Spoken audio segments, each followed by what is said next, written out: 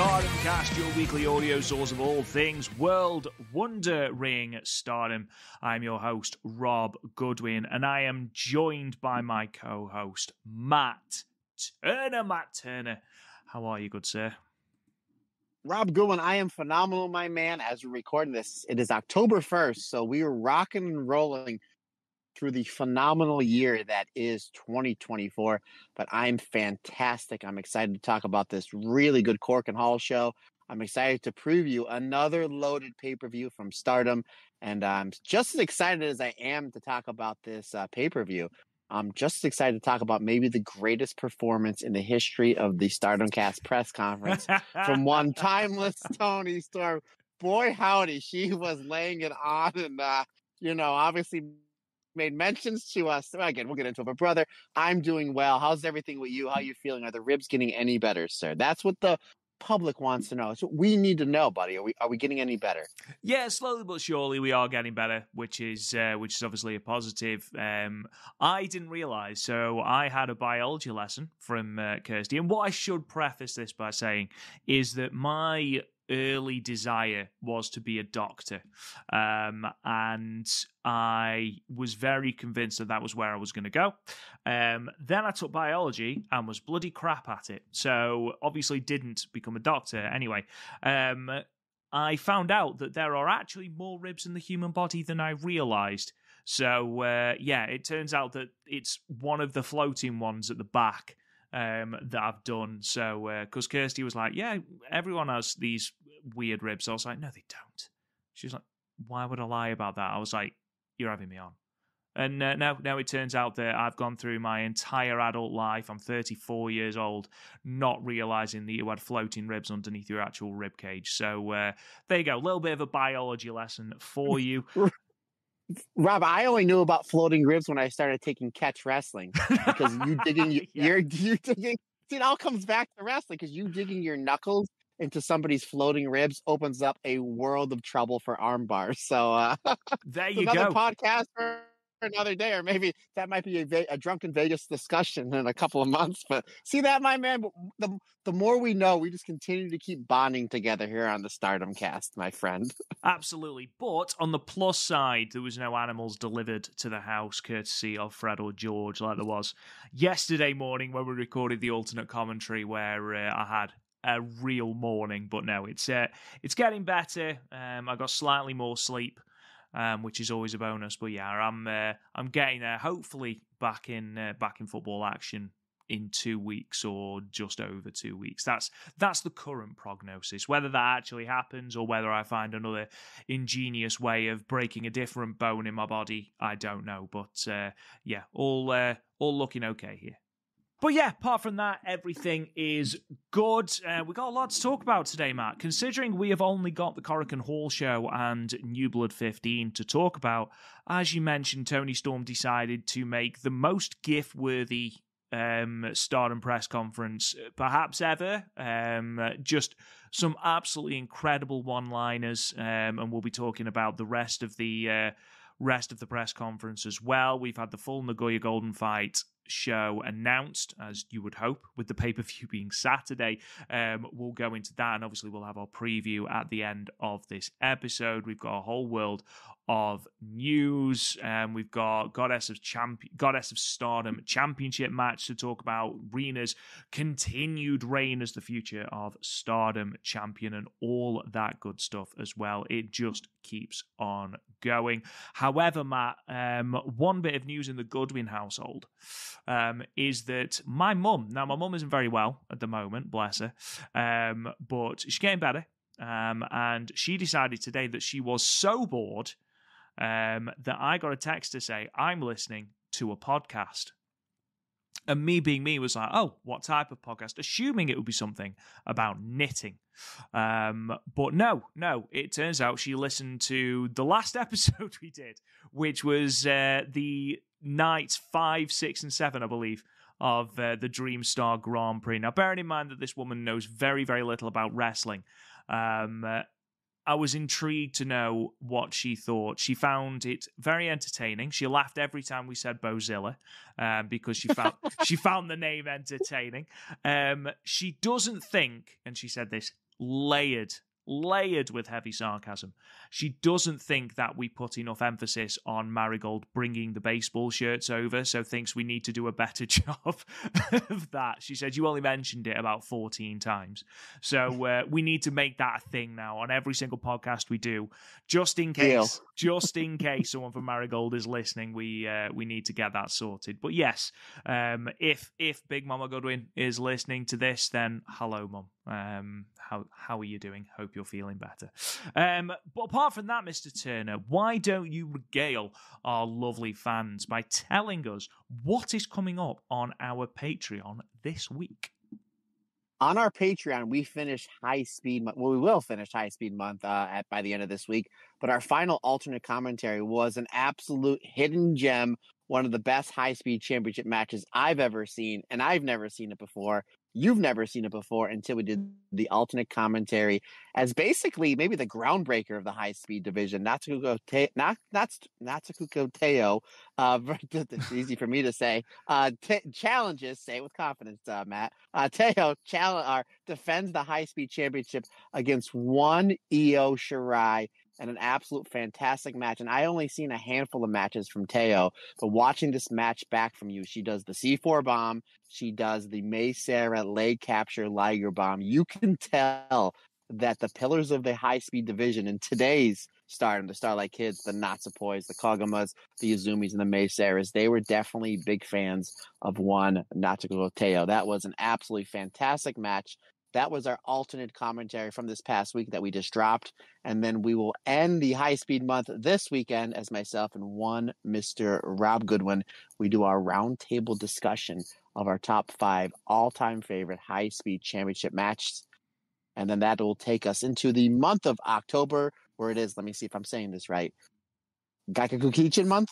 Did I get that right? Do you know what? If you put enough syllables into it, Matt, it sounds right anyway. So uh, yeah, it's Gaikakujin month. Um, thank you to Karen Peterson for uh, for schooling us on uh, on the correct term that should be used for that. Gaikakujin month. I'm just going to buy you it. Gaikakujin month. We go Kikan. Anywho, so uh, we will be doing our alternate commentary that we will be doing for next week. Will be Momo Watanabe defending the Wonder of Stardom Championship against Jamie Hayter. We also have coming up um, later on in the month where myself and one Andy Header will be discussing our top five favorite matches in Stardom that is loaded with some foreign wrestlers. So there's going to be a lot of really good stuff coming up on the month of October for the Stardom Cast Extra. And as always, we say thank you to every single Patreon member. There is so much fantastic stuff, past, present, and future coming up on the Patreon for the Stardom Cast Extra. Yeah, absolutely. And just on uh, just on that, I want to thank Berry four twenty. Apologies, who is our latest Patreon. So uh, thank you very much for subscribing again. www.patreon.com forward slash the Stardom Cast, where you can get all of these episodes early and ad free as as well as a whole host of other bonus content. Um, let's get into some news then. Quite a lot to discuss today from the world of Stardom and indeed from Marigold as well. Um, the first thing that I want to talk about, though, is unfortunately something a little bit sad is that uh, Saki Kashima is going to be missing tomorrow as we record, so Wednesday, the 2nd of October. She is going to be um, absent from the Korakuen Hall show um, in order to receive treatment for an injury. Uh, Nanami from Diana will be competing at the Korakuen Hall event um, instead. Um, Saki has retweeted that announcement and said that she will still be at the signing and she will still be seconding as well. But unfortunately, she will not be in ring competing. Um, obviously, never a good thing to. Uh, to have a wrestler be injured, um, and obviously we we wish her the best and a speedy recovery, Matt.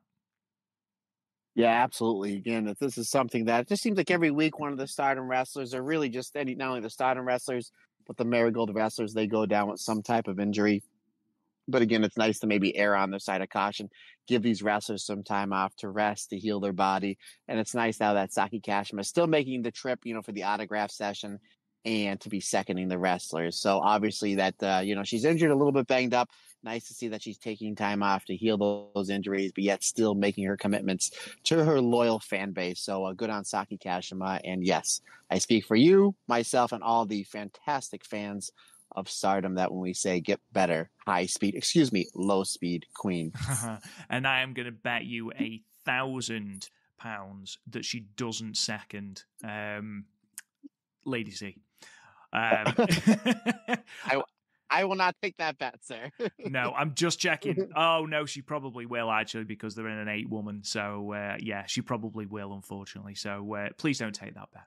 Uh, moving on to some other news. Obviously, the big news is that Nagoya Golden Fight, the latest Stardom pay per view, which will be emanating from Aichi, um, is going to be taking place the fifth of October with English commentary, courtesy of friend of the show, Walker Stewart.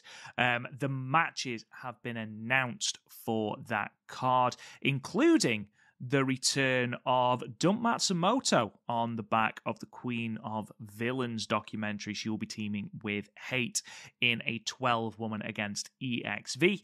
But this is your card. We will give more of an in depth run through during our preview at the end of the show. But for now, this is what we have a high speed number one contender battle royal, which will see Saki Kashima versus Koguma versus Hina versus Yuna Mizumori versus Momo Kohgo versus Ranna Yagami. Really interesting there, actually, to see some uh, less familiar names when it comes to the high speed division. So that's exciting. Um, we have got a four way tag match Mei Seira and Azumi versus uh, and Lady C versus Saori Anou and Aya Sakura versus Wingori, Hanan and Saya Iida. Singles match, Sayaka Kurara versus Saya Kamitani, followed by another singles match, Hazuki versus Starlight Kid. Um, a 12 woman tag team match sees the EXV team of Maika, Mina Shirakawa, Xena, Hanako, Rian, and Waka Tsukiyama taking on the hate team of Natsuko Tora, Momo Watanabe, Konami, Ruaka, and members Dump Matsumoto and Zap. Um, we've also then got four title matches. Uh, the Future of Stardom Championship. This is obviously containing spoilers for New Blood, so just bear that in mind. Future of Stardom Championship. The champion Rina will be taking on the challenger Miyu Amasaki. Um, IWGP Women's Championship. Obviously, the champion Mayu Iwatani. Over 500 days, 520 days now into this reign, taking on Timeless Toni Storm. Wonder of Stardom Championship match. Natsupoi, the champion, taking on the challenger Thekla. And then in what I assume is going to be your main event and what should be the main event World of Stardom Championship match. Tam Nakano, the champion, against Suzu Suzuki. Um, Matt, couple of things I just want to talk about. Obviously, we will save our preview and our predictions for the end of the show. But shout out to patron um, Steve Karklamanos, who uh, genuinely every time he comments cracks me up. Um, but he actually brought up Miyu Amasaki because me and you were so dead set that they were building Hanako to dethrone Rina that we actually completely forgot Miyu Amasaki. And it wasn't that I forgot Miyu Amasaki, it was more a case of, you know, I thought she'd be going for the artist belts. I assumed that she had not necessarily transcended the division, but sort of had sort of taken her out of that um, and sort of put her in a different division, especially with um, with Neo Genesis being this new hot faction. However, I think Miyu Amasaki is a great shout if we are to dethrone Rina here. I'm I'm I'm reticent to say now is the person to dethrone Rina because we've said that a couple of times, and Rina has marched through almost the entirety of the Stardom roster at this point. So uh, whether it happens or not, I don't know. However, if we were to take the belt off Rina, I think Miyu Amasaki is a great shout, Matt.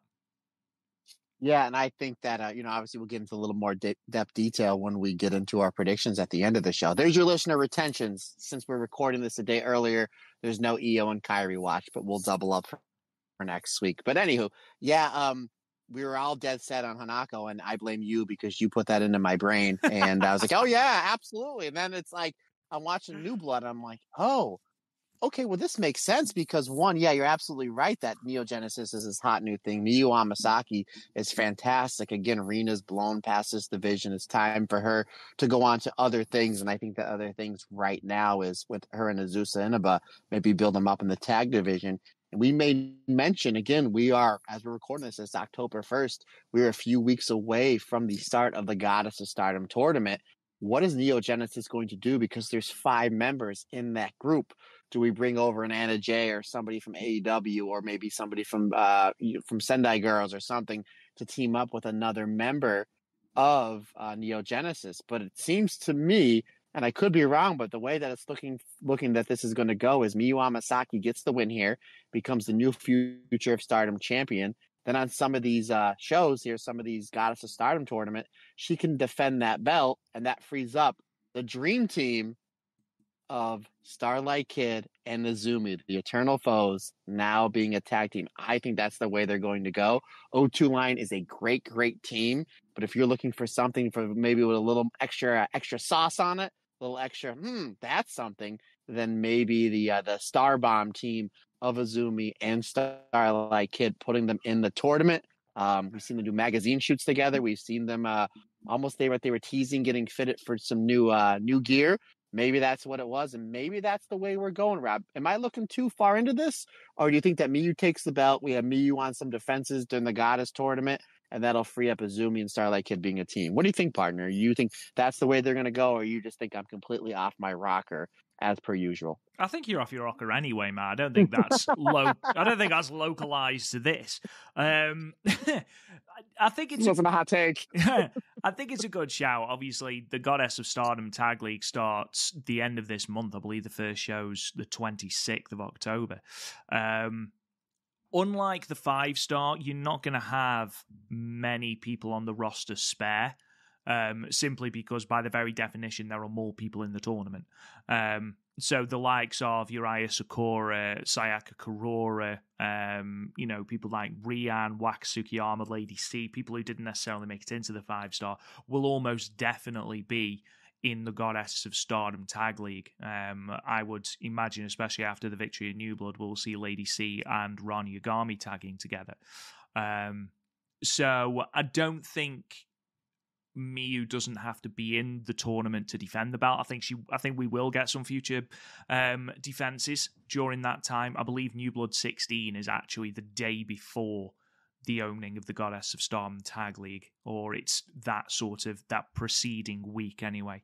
So the chances are we will see a defense there anyway. Again, I think Miyu Amasaki is in the tag league. Um, whether she's the outlier, I don't know. Um, we'll see. We've we've seen before, of course. You know, it doesn't necessarily matter about um, factions. We've seen Jamie Hayter and Bea Priestley. They tagged up. They weren't in the same faction. More recently, we saw Hanan and Rina as Oil and Water. They weren't in the same faction. Mai, uh, Sakurai and Mirai teamed up as well last year. So, you know, it doesn't necessarily matter whether you stay in your faction or not. Whether it changes this year um, under the new leadership, I don't know. But um, long story short, um, I think Miyu will be in the tag league, but I think she will be defending the belt again, assuming that she takes the belt off Rina, which I think is a very, very big mistake because every time we've said that, it hasn't happened. So yeah.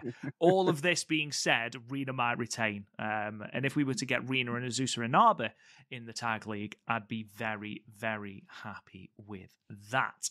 Um, speaking of cards being announced, um, at the Sendai Girls show on the 27th of September, the show where Momo Watanabe and Ruaka, I believe, were on the show um, the team of Chihiro Hashimoto and Yuu won the Sendai Girls World Tag Team titles. And at the end of the show, they were challenged by BMI 2000, Ruaka and Natsuko Tora for those belts.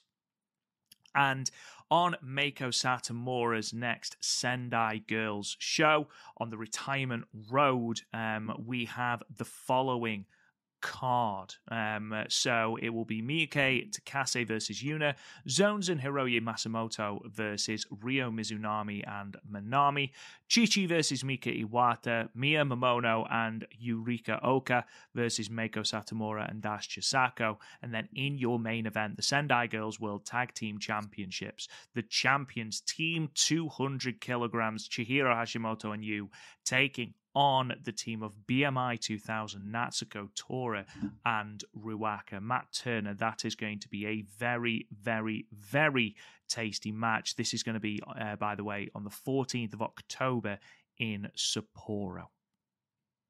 Yeah, again, more of the stardom wrestlers wrestling outside of stardom, especially with Sendai girls. Rob, we've seen, I mean, again, we've seen the AW stuff, we've seen the New Japan uh, strong stuff and the New Japan proper stuff from time to time. Obviously, catch the wave, a lot of different promotions, but it really seems like the Sendai girls are the ones that are getting the majority of the stardom wrestlers.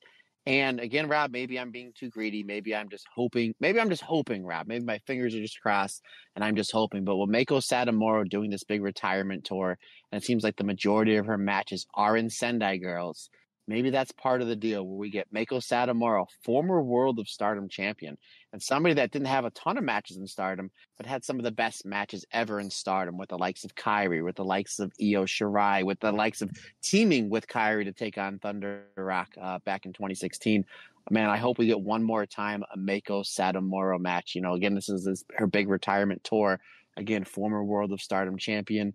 Maybe this is where it's going. I'm hoping. Regardless, all these girls, fantastic wrestlers on these Sendai Girls shows. And Sendai Girls has a really, really underrated roster. There's some fantastic talent there. But mm-hmm. uh, yeah, really good for Ruaka and Natsuko Tora getting a big matchup. Pun, I guess, intended because Chihiro Hashimoto and Yuu, those are some big time players that throw some big time suplexes. So yeah, that's going to be a hard, hard hitting match. So Rob, I'm going to volley this back to you. One, what do you think about this match? And two, do you think that we get Meiko Satomura back in Stardom one more time? Ooh, um, uh, it's a tricky one. I'd love to see it. Um, does she need to do it? No, I don't think she needs to do it. Um, I think it would be great for us as fans to see it happen, um, especially if she could take on someone, you know, who was around at the time that she was in stardom periodically, which pretty much narrows it down to Mayu or Saki Kashima. um, oh no, Saki Kashima had retired at that point. She didn't come back till 2018. So yeah, it would just be Mayu. Um, if if that was an option, and you were to say to me, "Do you want to see Mayu versus Meiko Satomura?" You know, I'm obviously not going to say no to that. Um, obviously, it depends on Meiko and what Meiko wants to do. Um, in terms of the tag titles, I think this is going to be a great match. I think we saw what Ruaka could do, and I actually brought this up on the previous Stardom cast as well. We actually saw the potential in Ruaka when uh, Natsuko and Ruaka went for the goddess belt against Nanae Takahashi and Yuu. And Ruaka got a standing ovation in Korakuen Hall. So when push comes to shove, as it undoubtedly will in this match when you look at who's in it, um, I think she will perform. Um, I don't think they take the belts by any stretch of the imagination, but uh, I think it's going to be. I think it's going to take a couple of people by surprise. Certainly. Um, I mean, just talking about Goddess of Stardom Tag League, we've talked about a partnership with Sendai Girls. Jesus, can you imagine if Team 200 kg came into the tag league? Christ. Whoa, Rob Goodwin booking. I just want Azumi and Starlight Kid. Now you're booking, you're booking uh, Yuu and uh, Chihiro Hashimoto. What's next? You book the Rock and Roll Express in this thing, brother. I mean, go all up. We're already in. Let's go all in. You know? Hell yeah. I mean, let's face it, we we we've just talked about the partnership between Stardom and Sendai Girls. We've seen Mika Iwata win the uh, Wonder of Stardom Championship. We've seen Saori Anou win the Sendai Girls World Championship. We've seen almost every big show that Sendai Girls have run, there has been some sort of stardom participation, whether it's members of Hate or whether it's Starlight Kid, Miyu Amasaki, there always seems to be someone on there. And just piggybacking on what you said, actually, Sendai Girls at the moment is one of the most enjoyable wrestling companies to watch because obviously watching it for the stardom wrestlers that are in it, you do become a little bit more familiar with the Sendai Girls roster, and I knew very, very little of Sendai Girls up until you know I still know very little, but um, you know I didn't watch any either. However, now there are some big time players that if they're on, I'm like, yeah, I'm watching that. Absolutely. Dash Chisako, for example, absolutely fantastic. Now that I've seen more of Mika Iwata, I think Zones is a really big talent. Um, and then again, t- anytime t- Team 200 kg are on a card, I'm like, yeah, I am. I am absolutely going to be watching that. I can't wait. So that's going to be really good. That's on the 14th of October, as I mentioned, in Sapporo. So make sure that you check that out.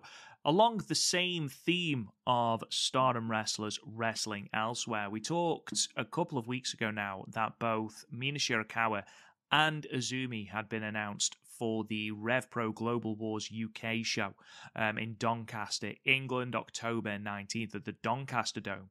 Well, the day after, New Japan and RevPro are running Royal Quest 4 on October 20th. And Azumi and Mina Shirakawa have actually just been announced for that show as well. Um, with Mina Shirakawa teaming with Kanji against the team of Azumi and Dani Luna. Dani Luna, of course, being the person that Mina Shirakawa defeated for the undisputed British Women's Championship. Also announced on that card, you've got Shota Umino versus Callum Newman. You've got uh, Kosei Fujita versus Michael Oku, which is going to be very, very good. Yota Tsuji versus Drilla Moloney. I know that Zack Sabre Jr. is on that card. I believe he's taking on Sanada. So some really, really, really um, exciting matchups on there, but even more exposure, Matt, for uh, for Azumi and for Mina. Yeah, again, doing back to back dates over there in your home country. So we're getting worldwide Mina and uh, British Azumi. What more can you want in 2024? But you're absolutely right. More exposure for two fantastic wrestlers and one Mina Shirakawa and Azumi. So obviously, I'm looking forward to both those shows. My guess um, would be sometime, uh, maybe about a week or two after these shows air, that you'll probably see them on Stardom World. Again, that kind of fingers crossed. It's just we've noticed that with these Stardom wrestlers wrestling outside of Stardom, you'll see it after maybe one, two, sometimes three weeks that these matches do pop up on Stardom World. Which again, that's just more content for people to subscribe to Stardom World. And you're absolutely right, partner. The fact that we're getting Mina and Azumi, who primarily wrestle uh, in Japan now that they're going over to England for a few shots. Uh, again, that's just more exposure to two fantastic wrestlers in the Venus and the High Speed Bomb Girl. Changing tack now, going over to Marigold. Um, again, some spoilers for the uh, the fans of the Dreamstar Grand Prix. If you haven't already watched this show, maybe skip ahead. Um, however, we've all, by the time this comes out, we will have already dropped our review of that show. So fingers crossed, you will have already watched it. But uh, uh, there was also a press conference for that show today. Um, uh, you know, we'll do this as a precursor to the uh, to the Stardom press conference, but there was a press conference where it's announced that Utami Hayashishita has said that she will challenge whoever is the world Marigold World Champion um, on the 3rd of January at Marigold First Stream at Ota Ward City Gymnasium. We sort of assumed that would be the case, Matt, but that is official now. She was presented with a certificate for the right to challenge. Um, she said that she'll challenge Sareee. However, as we're going to talk about in a moment, it might not be Sareee, um, but makes sense to have that big challenge there, Matt. Yeah, um, Rob, real quick, I didn't see this press conference, but did by chance Utami did she was was she wearing a baseball jersey or did she make mention about selling the baseball jerseys jerseys over in the United States? I just we just need to get that clarification. You know, with the Stardom Cast, the Marigold Standard, we t- tackle the big issues. This is something that I need to know, Rob Goodwin. So not only enlighten our fantastic listeners of this podcast, but enlighten me, my friend. Was there any baseball jersey talk? Let's uh, let's sell let's sell some jerseys here, brother. Uh, in fact, actually, it was weird because Rossy tried to give her the certificate, and Utami just shrugged him off and went, "No, no, no, no, no. We'll do that in a minute. First of all." Rob and Matt, we will be bringing baseball jerseys over to Las Vegas. Um, and she actually said she'd give us free ones as well. It was bizarre. It was like entering the quantum realm. Um, no, unfortunately, there was there was no, there was no mention of baseball jerseys. However, we are going to keep dropping this in periodically, just on the off chance that someone is able to get us some of those jerseys. Um, but no, and the papas, and the papas. Yeah, absolutely. um, but yes, um, I like this on a number of levels because A, we're building up that anticipation. It's what I love about the G1 climax, and I know that we aren't getting it this year, but you know, that anticipation of right, we know who is going to be in the main event of Wrestle Kingdom. I like it about the five star Grand Prix, although we didn't have it this year, of who is going to be in the main event of Dream Queendom at the end of the year. And I do like the fact that here we know that Utami is waiting for whoever is the Marigold World Champion. Now, as we're going to talk about in a moment, we are building to at least one program for Sareee. There's obviously quite a few months until January. I think we set up a couple of programs for Sareee, certainly um, enough to carry her through to January. Um, but Matt, what are your thoughts on this? Yeah, 100%. I like these long builds. Again, growing up in the Northeast, whoever won the Royal Rumble, you know, WWE, WWF, whoever won the Royal Rumble, you started building two, three, four months out for that main event match at WrestleMania. We would always see with the G1 going into Wrestle Kingdom. Obviously, that didn't happen this year. And the same thing with the five star, which yeah, I get it. You have to change things up from time to time. But with Utami getting this win, her basically saying, "Hey, I'm waiting until the beginning of the year. I'm waiting about you know three months time um, for it, you know, for uh, my sh- shot at the championship." And you do have some things that Utami can do in the next three months. And Sareee, we know we're going to get Sareee and Bozilla. We know we're probably going to get Sareee and Nanae Takahashi, or uh, Nanae Takahashi. Um, I know that. Please, I hope we get that match with uh, Nanae and Sareee for the uh, World of Stardom, uh, for the excuse me, for the World of Marigold Championship, the red belt. And with Utami losing to Mirai and losing to Nagisa Nozaki, those are matches that you can run back over the next few months. And you can also do a whole bunch of tag stuff as well. So you have enough to keep Sareee and Utami Hayashishita busy between now and the beginning of next year, setting up that big match. And we kind of figured that's the way they're going to go. And that's pretty much the biggest match that uh, Marigold has in their back part yeah. pocket, you're just going to keep building it up more, and it's the right match. I'm assuming now unless something crazy happens, Sareee is going to be retaining the red belt up until the beginning of the year, and we're finally going to get that big singles dream match of Sareee taking on one Utami Hayashishita, and the build literally started as we're recording today. We're gonna we're gonna slow build to this. You have stuff for Tommy to do, have her avenge her losses um, that she lost in the Dream Star, and you have two matches pretty much set up with Sareee. So great job booking Rossy, not only this tournament, which we'll get into in the Marigold Standard, because that final night was unbelievable, just a great night of wrestling. Mm-hmm. But you set up a lot of things that you could have your two top stars doing, and then ultimately you're going to have the crescendo of them finally meeting in a big, big show uh, at Wrestle Kingdom weekend. Um, yeah, on the third of January. So excellently well done and I cannot wait to see that match. And I'm very interesting how else they're going to load that card. Because you saw what they did at Summer Destiny. You know, you basically had the two main event matches of Sareee and Julia and Io versus Utami, and then they loaded that undercard. So I'm interested to see how they're going to load that undercard and if they bring any talent in from the WWE to kind of help pack that place. Uh, what is going to be an absolutely loaded weekend over there in the land of the rising sun, my friend.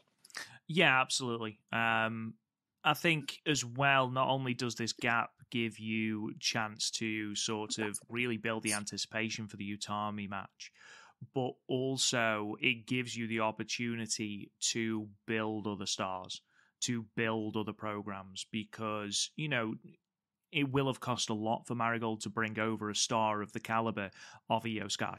And I think there is a misconception that, you know, for every single big show, we're going to have a big name from WWE, you know, because of this partnership. And that's fine to a certain extent. You know, for Io Sky, for example, it was a it was a huge moment. It really was. However, you want to be able to sell tickets on the back of your own roster. And, you know, we talk about it all the time on the Marigold Standard that Utami is one on her own at the moment, with Mirai perhaps just behind. I don't count Sareee in that because she's a freelancer. Um, you want to be able to build the rest of the roster as well, so that you know maybe programs with Sareee is the way to go. Obviously, I think we can all anticipate that we're going to get Bozilla and Nanae Takahashi programs. I think that's where we're going. We're definitely building towards that Bozilla program, as I'll go into in a moment. But if you can also throw a title defense against the likes of a Mai Sakurai, for example, or you know something like that, and really build a star there as well, you're relying less and less on outside talent to sell the tickets. Um, you know, you have nailed on got that main event, which I I would be amazed if Sareee drops the belt before first dream. Amazed. Um, and I don't think she will because Sareee and Utami is a money money match. But where else are you going with that? Okay, what else is going to be on that card? because there are stars that are definitely higher than they were at Summer Destiny. For example, Mai Sakurai is completely different than she was at Summer Destiny. Um, I'd argue Kouki Amarei is bigger than she was at Summer Destiny. You've got Mirai, who seems to get bigger every single every single day, um, and that's just her smile.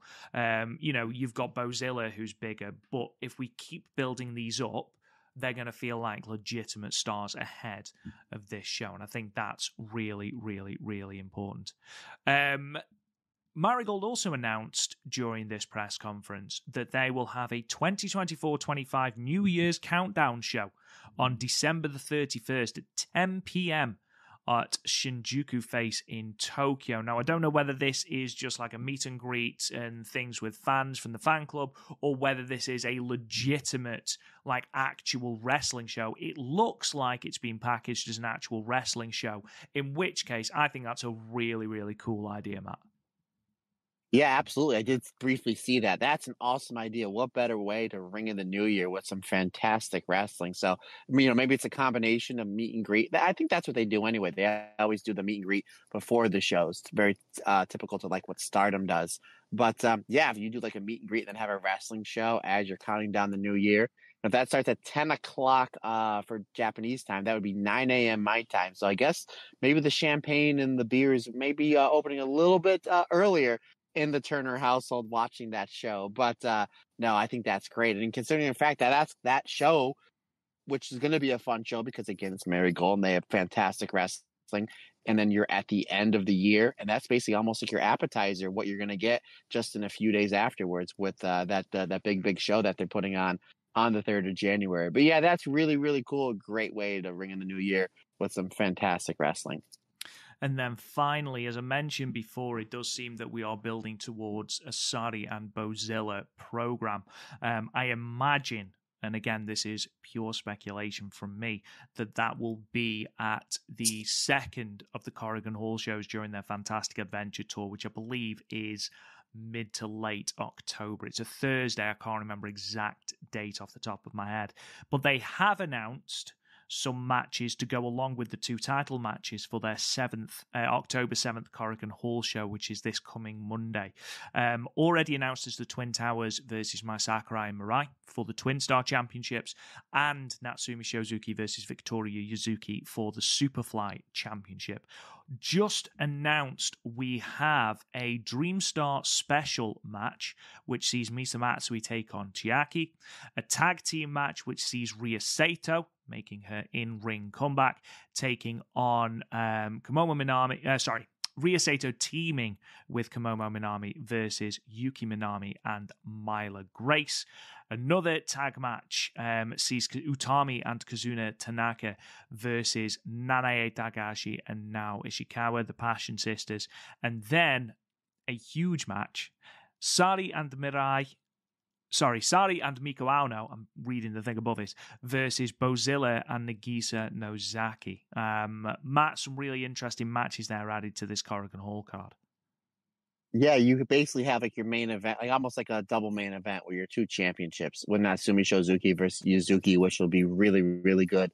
And then, yeah, you have uh, Chika Goto and uh, Kouki Amarei challenging uh, Mirai and Mai Sakurai. And, and considering the fact how hot those four wrestlers are, again with Mirai having a really really good uh, Dream Star and the fact that she's obviously one half of the uh, tag champs with Mai Sakurai obviously defending on this show, and then Mai Sakurai making it to the finals of the Dream Star. Who would have predicted that?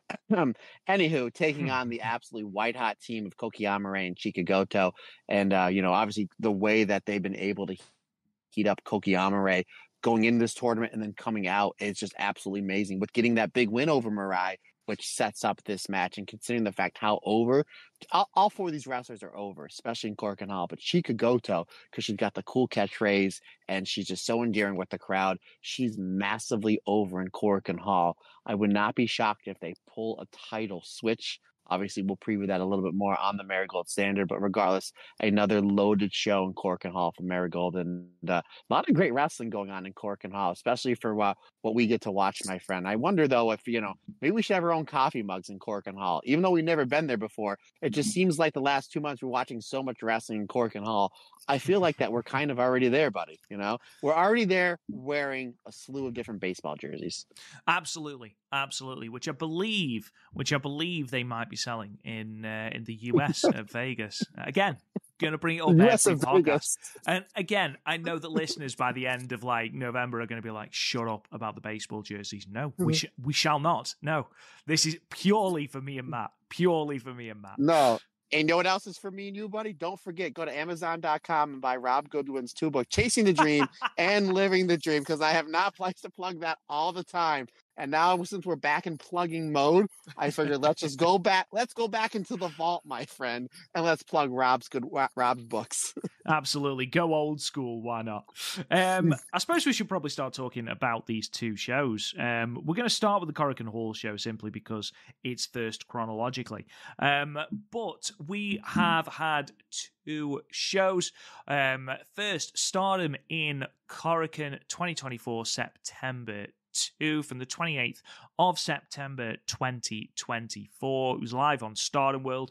1,176 people in attendance. Now, a couple of things to note about this. That makes it the fourth Korakuen Hall show in a row for Stardom to pass the 1,000 people mark. It's up from the last time they ran Korakuen on the 8th of September when they drew 1,022.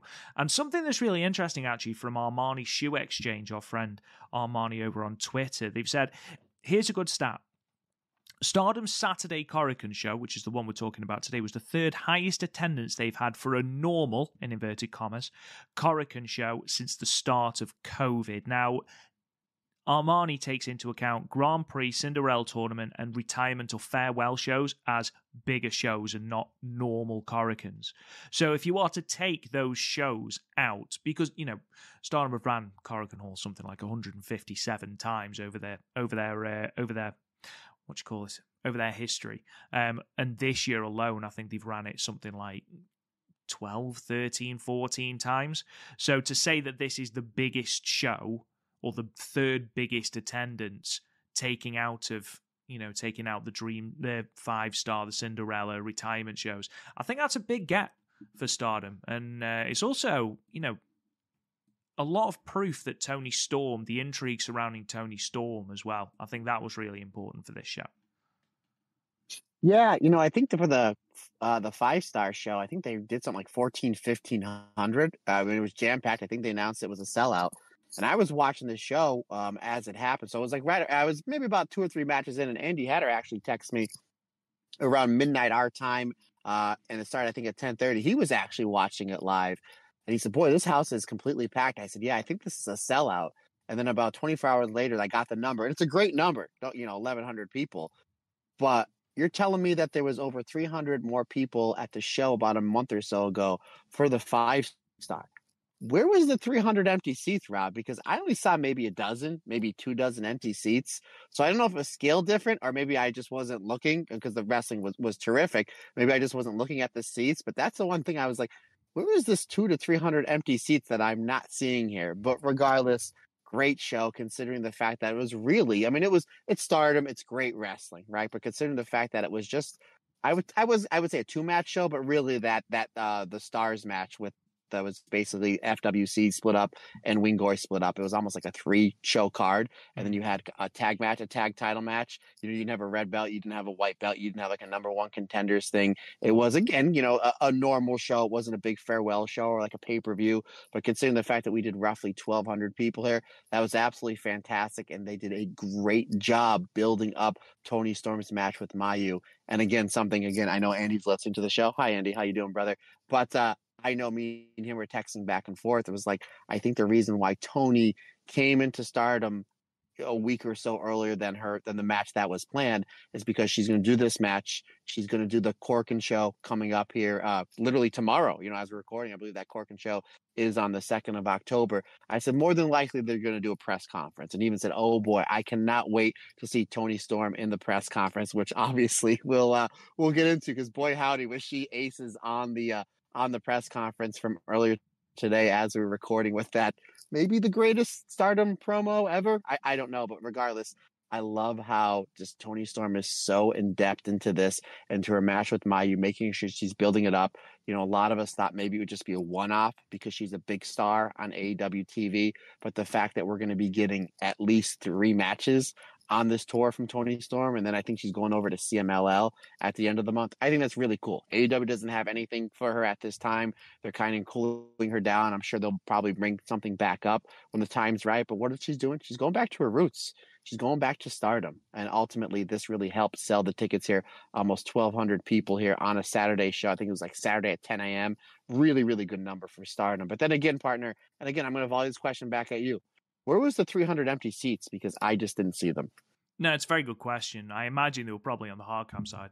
Um, I know that they closed off the balconies. Um, there was no one on the balconies, but again, who knows? Who knows? I can't see Stardom undercutting their own numbers.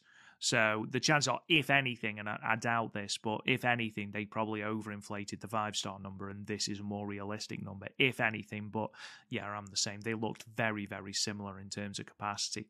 And just sort of piggybacking on what Amani said, this year, Stardom have run Korakuen Hall 13 times. They have passed the 1,000 person mark seven of those 13 times. The first one was the Cinderella tournament in March. Um, they drew 1,344. 1,390 the next time they ran Korakuen in April, but that was Utami and I believe Julia's leaving shows. Um, they didn't pass a thousand again up until the Stardom Nighter in Korakuen, the sec, um, the one in July, the second one.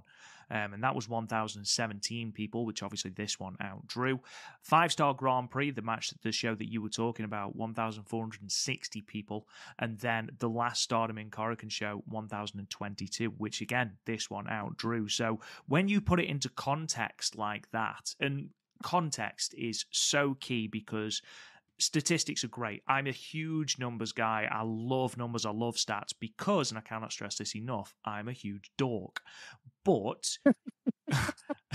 I going to say what I always say: the numbers don't lie. Again, you can like what you, like, but you, but when it comes to the numbers, this company is clearly doing better than the other company because of the numbers. Even though you might like something else, I thought that's where you're going to go. But Rob calls himself a dork. Uh, I will neither agree or disagree with that. But carry on, partner. um, numbers and stats and data are great. However, you can manipulate data, numbers, and stats to make them fit your narrative, make you fit their, make you fit that story. And I think that's where context is is very very important. And I think when you take out the you know inverted commas special Korakuen Hall shows, you know, the tournament shows, the farewell shows, the retirement shows. Um, drawing this number in Korakuen is is a decent, decent number. Um, and sort of puts into context because I know that we said um, actually on our preview show that we thought maybe they'd draw 1300 again um, with the addition of Toni Storm, but obviously that wasn't quite the case. But again, still an impressive number when you consider that it's the third highest non special Korakuen crowd since the COVID era, which again, absolutely tremendous stuff. Um, the results then are as follows. We open with a six woman tag team match. The Cosmic Angels team of Natsupoi, Yuna Mizumori, and Aya Sakura defeated the Hate team of Konami, Rina, and Azusa in Inaba, with Natsupoi pinning in Inaba with the Ferial gift in 9 minutes and 29 seconds. Singles match Hanako defeated Momo Kohgo, who came out with a very new metal theme, which I'm a big fan of. Proper 90s power metal. It was great. Um, she defeated her with the Shirasagi in 5 minutes and 44 seconds in one of the most enjoyable matches on the card, three-way 12-woman tag team match, the God's Eye team of Tomoka Inaba, Hina, Lady C, and Ranna Yagami defeated the Neo Genesis team of Starlight Kid, Mei Seira, Miyu Amasaki, and Suzu Suzuki, and the EXV team of Maika, Waka Tsukiyama, Xena, and Rian, with Hina pinning Miyu Amasaki with the Gedo clutch in 15 minutes and 9 seconds. It was given a long time. It was the second and third longest match on the card. Um, six-woman tag match followed this, the Cosmic Angels team of Tam Nakano, Saori Anou, and Sayaka Kurara, defeating the hate team of Natsuko Tora, Saya Kamitani, and Ruaka, with Sayaka Kurara pinning Saya Kamitani with the jackknife pin in 10 minutes and 42 seconds, which is wild saying out loud. But again, context is king. What a moment and what a reaction from the Korakuen crowd. Um, tag team match the Stars team of Koguma and Saya Iida defeated the Stars team of Hazuki and Hanan, with Koguma pinning Hazuki with the diving body press in 18 minutes and 14 in what, in my humble opinion, was the best match on the card. Your semi main event, the tag team match, Mina Shirakawa and a returning timeless Toni Storm, making her first appearance in stardom since the 7th of July 2019 and her first Korakuen Hall appearance since 16th of May in 2019 when she went to a time limit draw against Kagetsu. They defeated Mayu Iwatani and Azumi, Toni Storm pinning Azumi with the Storm Zero in 13 minutes and 23 seconds. And then in your main event, the Goddesses of Stardom Championship match, Hate, the champions Momo Watanabe and Thekla defeated the God's Eye team of Syuri and Saki Kashima. Momo Watanabe pinning Saki Kashima with the Peach Sunrise in 16 minutes and 11 seconds to achieve their first successful title defense. Um, let's start at the very bit, very beginning, Matt, because as they say in The Sound of Music, it's a very good place to start. Um, what did you think about this opener? What is effectively the final showdown between Aya Sakura and Rina ahead of New Blood 15? Look at you with the Sound of Music reference buddy. That was as you know what you never cease to impress me, buddy. You always impress me in the sound of music thing. Look at that, my friend. If you can put a jersey on that and ship it to the United States, I would definitely buy it. Anywho, to answer your question, buddy, um, again, it's Stardom putting on these the first match of these shows and then putting it free on YouTube.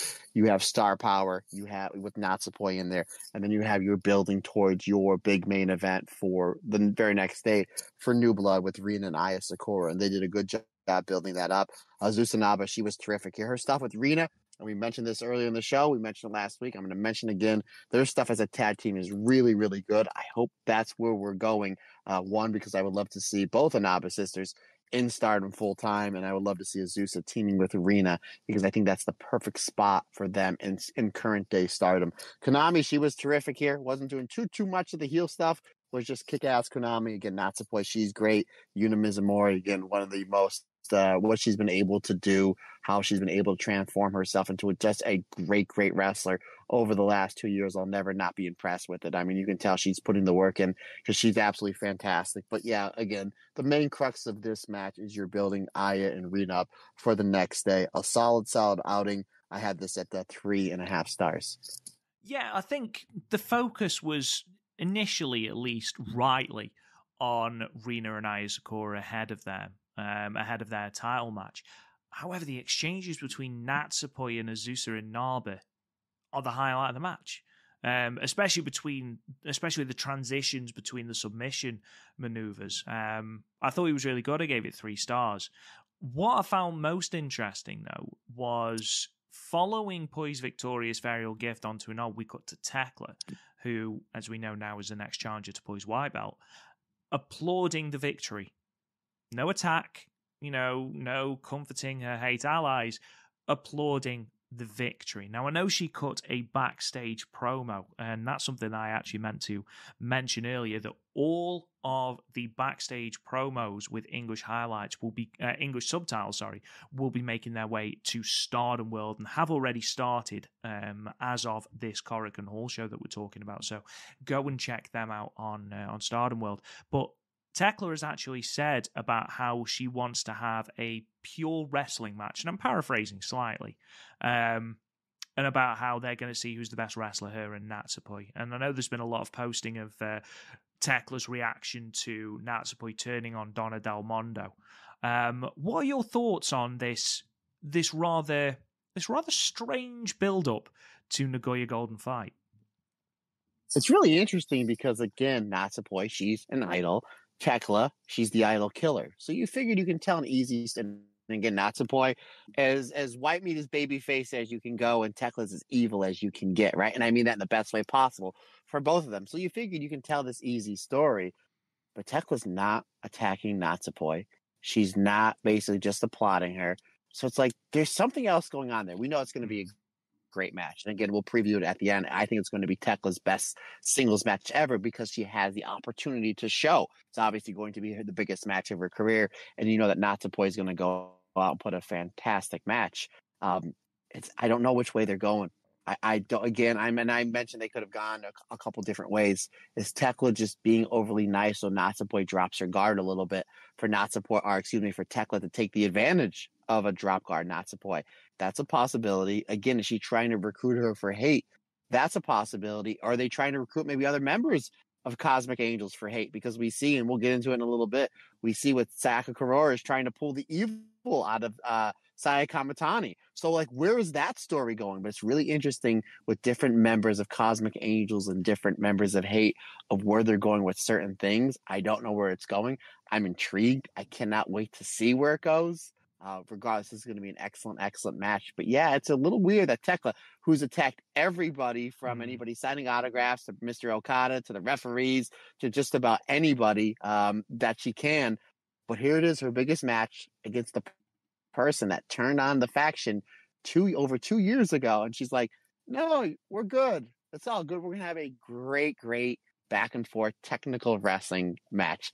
I don't think it's. I think that's the way the match is going to start to go, and then you're going to see Thekla ramping up the violence, only for Natsupoi to turn into the murder pixie that she is to ramp it up even more. It's a really cool, interesting story that's going to be wrapped in a fantastic match. And dude, both Natsupoi and Thekla are doing a great job creating intrigue to build up to this championship match coming up this weekend, buddy. Couldn't agree more. Couldn't agree more. Um, we move on to that singles match then, Hanako against Momo Kohgo. And the most important thing here, Matt, is Momo Kohgo's new theme. Um, uh, metal, metal, metal Momo Kohgo, MMK. Can we just turn her to metal Momo Kohgo? Is that where we're going with this? It it sounded so power metal, like '90s power metal. it was great. However, my one thing here is does it suit Momo Kohgo? Because in my opinion, it probably suited Hanako more than it suits Momo Kohgo. Do you think the sound guy? You think the sound guy got the wrong? Theme? I imagine. Do you think that's what happened? you know how many indie shows I've been on where it was like, holy! I remember one indie show where I think like the first six people came out to Skater Boy by Avril Lavigne. I'm like, how can you not just sit next track? like, how are you? This is back. Amazing. This, this was like 15, 16 years ago where you had to submit your CD as soon as you came in. You'd have to write like Matt Turner track three or whatever. But it was like five out of the first six people who came out to a Skater Boy by Avril Lavigne. Maybe that's what happened here.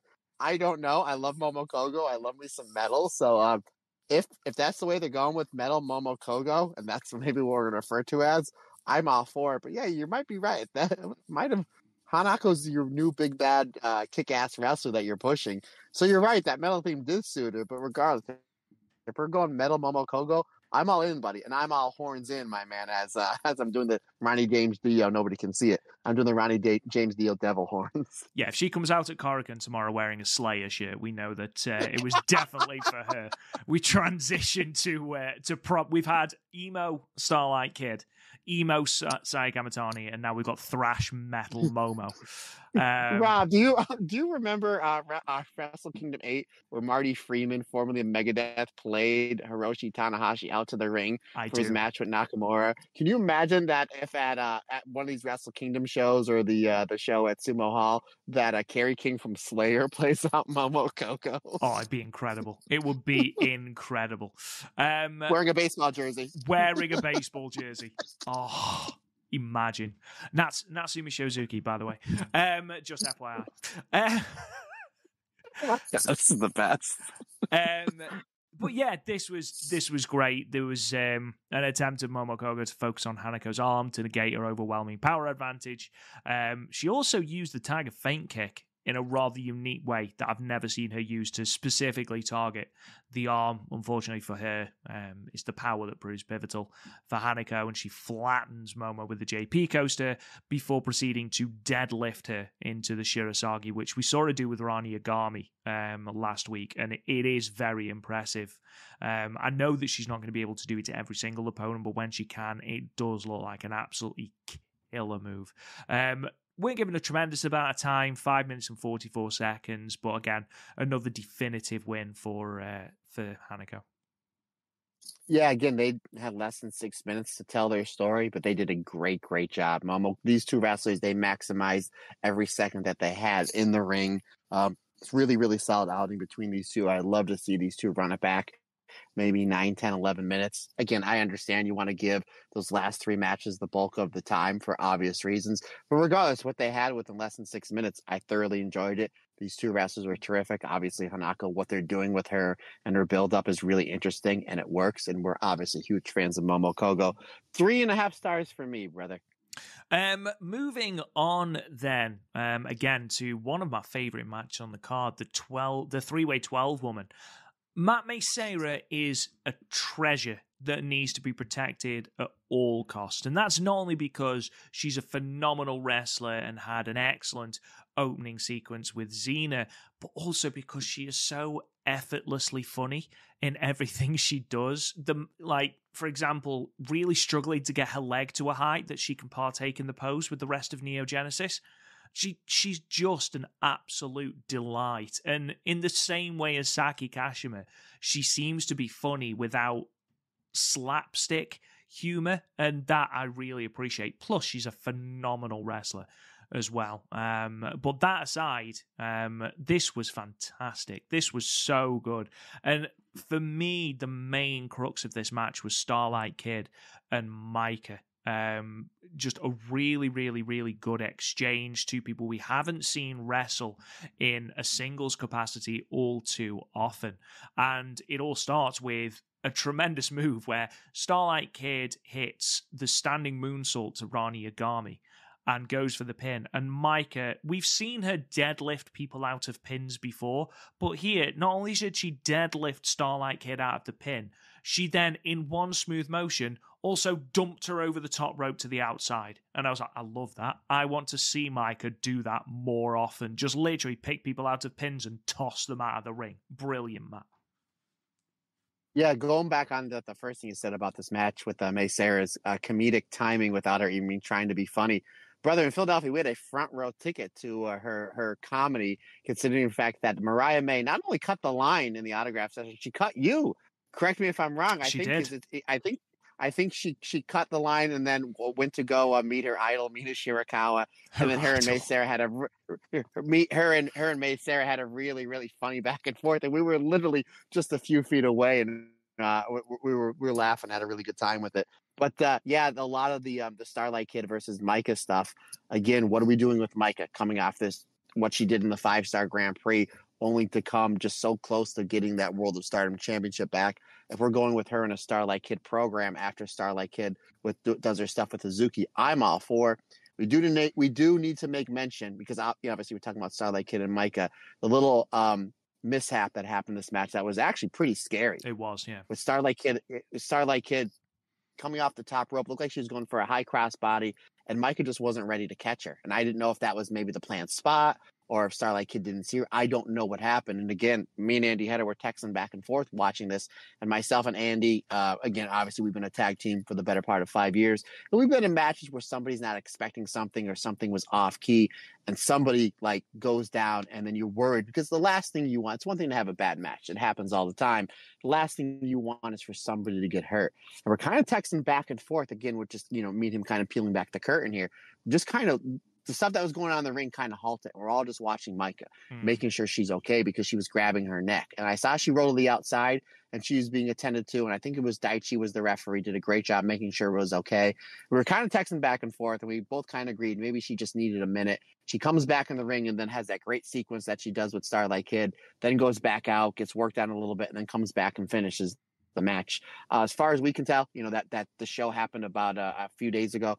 We haven't heard anything. She's on, obviously, she's on the, the pay per view coming up this weekend. She's on the Korakuen Hall show in a really, really big match, which we'll we'll talk about later on. So she she is okay now. She did make mention on social media a day or two after the match that somebody asked her how her neck was, and she said that uh, she heard it, and then she went out and got drunk and woke up the next day and felt fine. So uh, apparently, beer is her elixir, and she's fine. That's the main thing. I'm glad that she was okay. Again, just kind of going back and watching it, look looked like that it was just something that was missed time, which it happens, folks. It's pro wrestling. Nobody's at fault, but it looks like that she's she's okay, and she might have just need a minute to kind of get her bearings back. And I've been there before. Andy's been there before, so it seems like she's okay, and that's the most important thing. But yeah, this match, uh, once it got ramped back up, was a load of fun. We have 12 great wrestlers, three really, really good teams.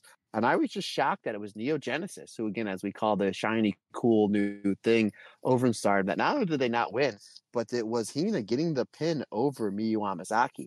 So again, and, and Hina's been able to show a lot of great high speed style wrestling these last shows. I think me and you were texting back and forth.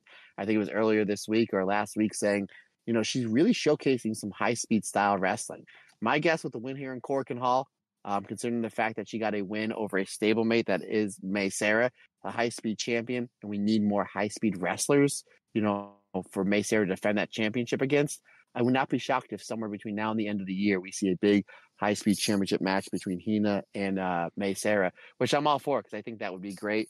Regardless, this was a terrific match. You got a lot of great stuff with Waka, with Maika, Mina, obviously Tomoka Inaba. She's fantastic. Her stuff. Um, her and Ranna Yagami basically playing like who's the hardest hitter between these uh between the two on the same team. She fits in so well with this God's Eye mold. And I know I said it about five minutes ago that I hope Azusa Naba is signed full time uh, to Stardom so she can start team with Rena. Same thing with Tomoka Inaba. God's Eye needs that really, really big second to Syuri being the big main eventer and the leader of God's Eye. And Tomoka Inaba fits that role perfectly, not only in Stardom but within God's Eye. But absolutely right, my friend. Terrific match that did see a uh, kind of a shock finish, which I have no problem with them elevating younger talent which we'll get into uh, in a little bit on on the next match.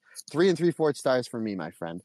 Yeah, I gave it three and a half, and it was it was a question actually I wanted to bring up to you. You know, having been in the ring, um, and it's sort of what at what point do you take a wrestler's word out of the equation? Because obviously it was a very scary moment for Maika, um, and as you mentioned, it looks like it was her neck and for a good 30 seconds, she wasn't moving. Now, at what point do you, because as a wrestler, and again, this is going off what I've heard because obviously I have no experience of this, you do. A wrestler will want to carry on. A wrestler will want to finish the match. You know, we've seen wrestlers wrestle with torn ACLs and, and all sorts. You know, we had just what in July we found out that Ami Sohrei had done something to her ACL and had been wrestling on top of it before she tore a meniscus as well. So, at what point does the referee sort of take out the fact that Maika is saying, you know, just as an example, Maika, it turns out, may well have been absolutely fine. It was just shock or whatever. But at what point does the referee go, no, you're not fine? I'm stopping this match. Like, because you can't necessarily take a wrestler's word for it, especially with, you know, stuff that we know now regarding concussions and things like that. At what point would you would you take it out of the wrestler's hands? That's a great question. I mean, you have to be, you know, if you have a concussion, you might be able to see the dazed look in their eyes.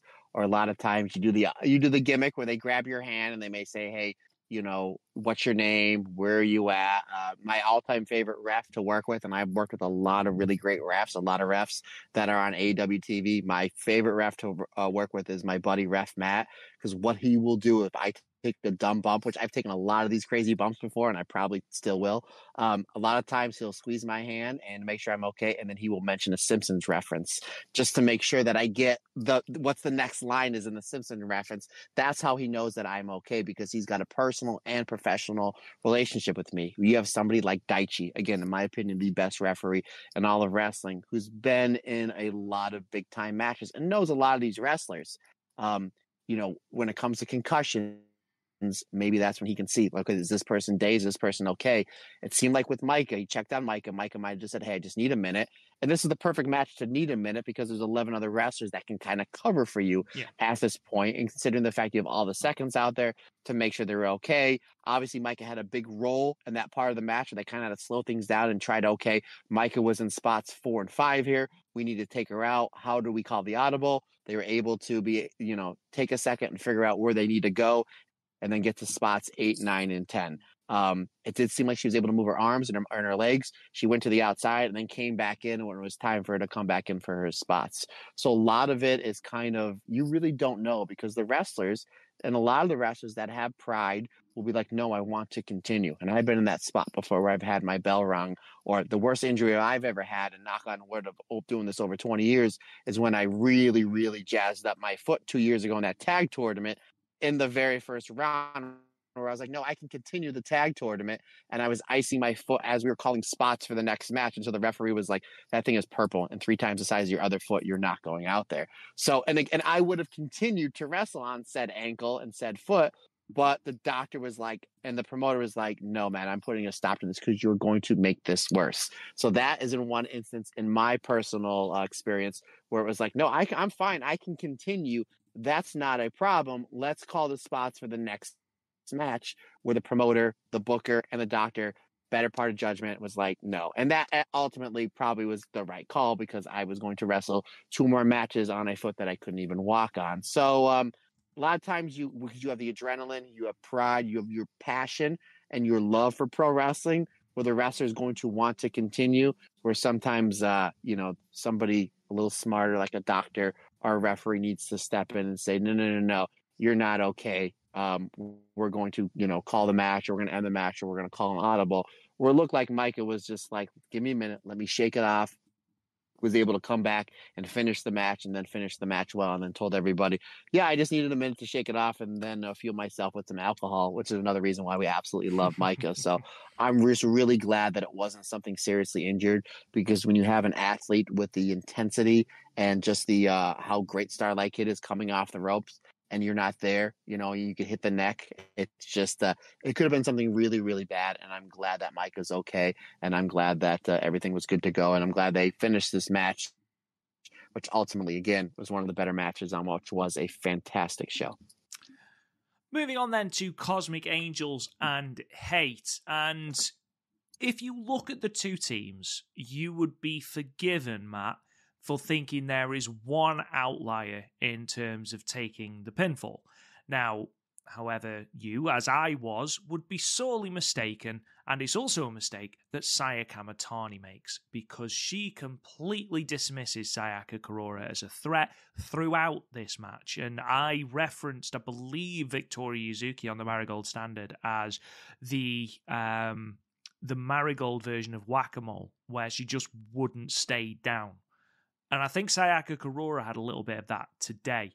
Um, well, on this show anyway, where she just repeatedly kept going at Saya Kamitani, in spite of Saya Kamitani's clear annoyance and clear just, I don't want to deal with you. I've got a feud with Saori Anou and I'm gunning for Tam's red belt. Will you leave me alone? And ultimately gets the victory. It's like, where the hell did that come from? And you're looking at it and considering Saya has eaten very few pins since she turned heel, you're thinking, oh, how are the crowd going to react to her being beaten by a rookie? And actually, the crowd responds massively. There's like this collective gasp before they erupt into a chant of Kurara, and it's a thoroughly heartwarming moment. It's a huge moment for Sayaka, isn't it? Yeah, considering the fact that we knew going in this match, you're just building Saori Anou and uh, Kamitani, that eventually you're probably going to get to Sai Kamitani and Tam. Again, we're probably thinking it's probably going to happen in Sumo Hall. Regardless, whenever they do it, I'm all for it because it's going to be a great match because those two have great chemistry. And you're building towards the crux of the match, and we're getting the Anou versus Sai Kamitani. And don't get me wrong, Natsuko Tora and Ruaka, they were great in their roles here as well. But the bigger story was building to this big singles match we're going to have somewhere down the road. And then you get your it breaks down to almost an, a singles match with Sayaka Kurara and Saya Kamitani. We've seen this basically in the psychology and the way that Stardom builds up their tag matches, especially their multi uh, person tag matches. They're like, okay, now here's basically the one on one. Tam's going to come in, Anou's going to come in from time to time. Tor and Ruaka, they're going to eventually going to take them out hold them down long enough where Kamitani is going to be able to put the young Sayaka Kurara away. But Sayaka Kurara keeps coming back. Like you said, like the whack-a-mole. You're absolutely right, partner. Keeps coming back. And he's getting these near falls. And the crowd is absolutely molten hot because they're biting on all these near falls. And I'm like, oh, wow, this is a great job that Kamitani is doing, making Sayaka Kurara, who's a really good wrestler and is gaining a lot of momentum these last few months, making her look better than she already does, and maybe making her looking the best that she ever has. And then my head, I'm like, ultimately, it's going to be like the one of the the violent kicks that Kamitani does, and probably the Star Crusher that's going to put uh, Kurara away. But boy, what a great way to build up Sayaka Kurara. And then instead of they just don't have their chips in, they go all in because it was just like you build, you build, you build. Yeah, the heel's going to get the win here, right? No, the big, big baby face gets the three count, and this place goes absolutely crazy. Rob Gooden, we have a new star that is born, and uh, and considering the fact that this is a loaded roster and that Sayaka Kurara is in a very loaded group with Cosmic Angels, considering the fact that Aya Sakura the next day is getting a shot at the future Stardom champion. The fact that Yuna Mizumori is coming off this really good run in the five star Grand Prix, considering the fact that Saori Anou is absolutely fantastic. Considering the fact that you have Tam, the red belt champion, and Natsupoi, the white belt champion, in this faction, you literally took a star and was just like, yeah, let's have her pin Saya Kamitani and let's see where it goes you have a new star in this company and a wrestler that's really, really good, and that's only going to get better. Fantastic match. The pop was absolutely huge. I had it three and a half stars, but as you know, partner, I always give extra credit when you get the crowd that much involved. I bumped it up to three and three fourths stars. And what was really cool about this, not only do you have a new star born in Sayaka Kurara, but we're getting the rematch with Sakura and Sai Kamitani. That's really intriguing now coming up this Saturday on an absolutely loaded card. But Kurara was basically begging Kamitani to like come off the dark side. So now you can look at this as like, is Kurara going to be the one to pull Kamitani out of the dark side? Or maybe Saya is going to convince Kurara to join Hate? There's two different ways to look at it but maybe you're at a point, and we've seen Kamitani at her absolute best during those big matches in the five star Grand Prix, where she's cool, Phoenix Queen, but she's still wrestling like the Golden Phoenix. Because when she's wrestling as 100% heel, it's good, but it's like, eh, we know what Saya Kamitani can be. But we saw those matches with Hanan, Suzu Suzuki, the final with Maika, that match with Starlight Kid at the quarterfinals, where she's molding this really, really cool heel into her fantastic moveset as the Golden Phoenix. So is it? And I think that's eventually where in six, eight, to 12 months from now, that's where we're going to go with Sai Kamitani because there's so much money in that. We hear all the time that Sai Kamitani shirts are selling out pretty much at each and every show that they're doing um, at these venues. So do we get the point where we mold these two things together? The really cool character that is the Phoenix Queen and the phenomenal another level wrestler that is the Golden Phoenix. And is it Sayaka Kurara the one that's going to be able to pull this out making her even more interesting. I don't know, buddy. There's so much cool stuff going on here, and I can't wait to see what they do. And I, and, and I, you know, I'm not going to talk about it now. We'll get into it when we get into the uh, the preview of uh, of this big pay per view on Saturday. But regardless, great match and ending. I had no idea I saw it was coming. It was a fantastic match with a great finish with a story that I don't know where they're going, but I'm really, really intrigued. I cannot stress to you, Matt, and I mean this how little I want to see Sayaka Kurara as a member of Hate. Like, I'm just saying. I'm just saying that's a possibility. You're not allowed. You're not allowed to say. I, at this. Okay, then here's what I'm going to say, buddy. Here's here's my prediction. That's just going to make you feel so much better than Sakura going to hate. Is that Sayaka Kurara is going to pull the queen out of Saya Kamitani and Sayaka Kurara and uh, Saya Kamitani and Momo Watanabe are going to reform Queen's Quest. There you go. Is that is that better? Is that better? That's wild, but sure. I, am a wild man, buddy. You just said I'm off my rock. I'm a wild That's man. True. That is true. Wearing baseball jersey. You know why I said that? Because I have a Queen's Quest baseball jersey in That's in America. True and, and which is true. That is 100% true. I have a Queen's Quest baseball jersey in my closet, which in that closet is in my house. That is in Pennsylvania. That is in the United States of America, my friend. So there you go. There you go. I wonder how many times we can actually get this reference in. Um, I feel like we're doing it on the Rom podcast. I feel like we probably need to do this on the Marigold Standard. Yeah, yeah, maybe. Yeah, maybe we just hit our limit for this podcast, and we'll save it for when we record uh, in a few days for Marigolds. You've got that to look forward to, guys. Um, now, obviously this tag match, the All Stars tag match, I imagine, Matt, if wrestling did interventions, that this is exactly what this match would be. Because though Hazuki is certainly in a better place than she was immediately following Namba Grand fight, she's still not herself. She's doing the pose, the hood is down, but the fire is still very much out in her eyes.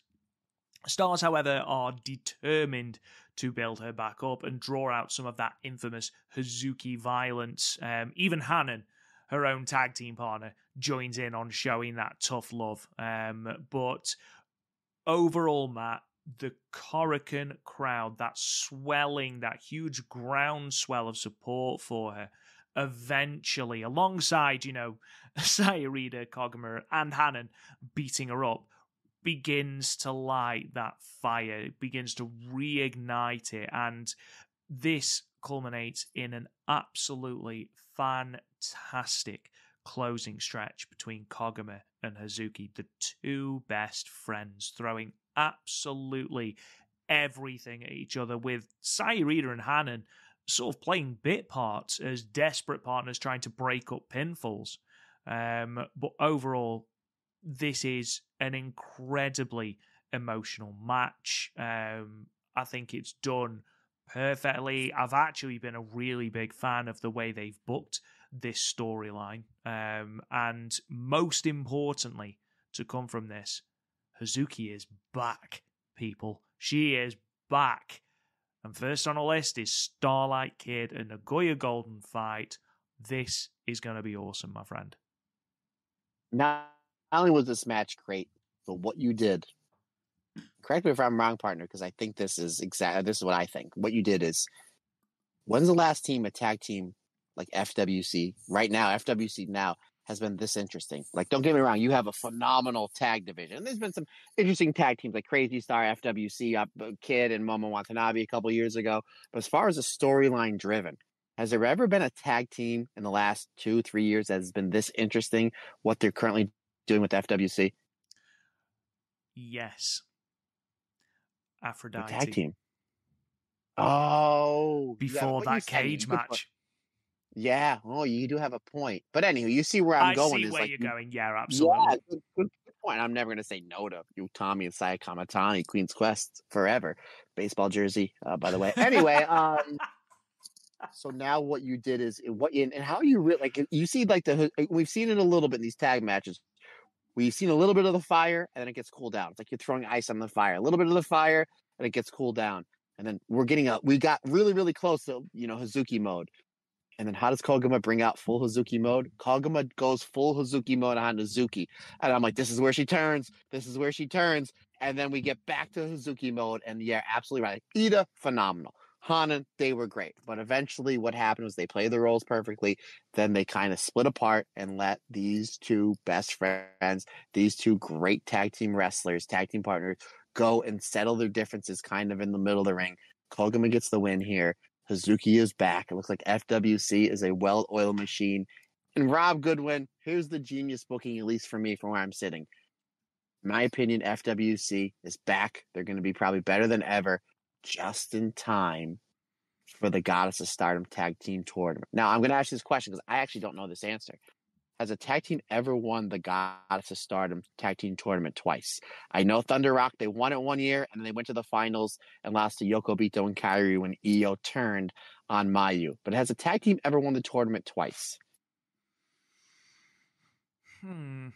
I don't think so. No, I know a wrestler has won it twice, but oh sure, yeah, as an actual sure. team, um, I was trying to think back. I know that BY Howe won it in 2012, didn't he? Um, if I had my copy of Living the Dream, and I'm not even joking because on Rob, that book, for those of you who have, first of all, if you have not got it, what are you doing?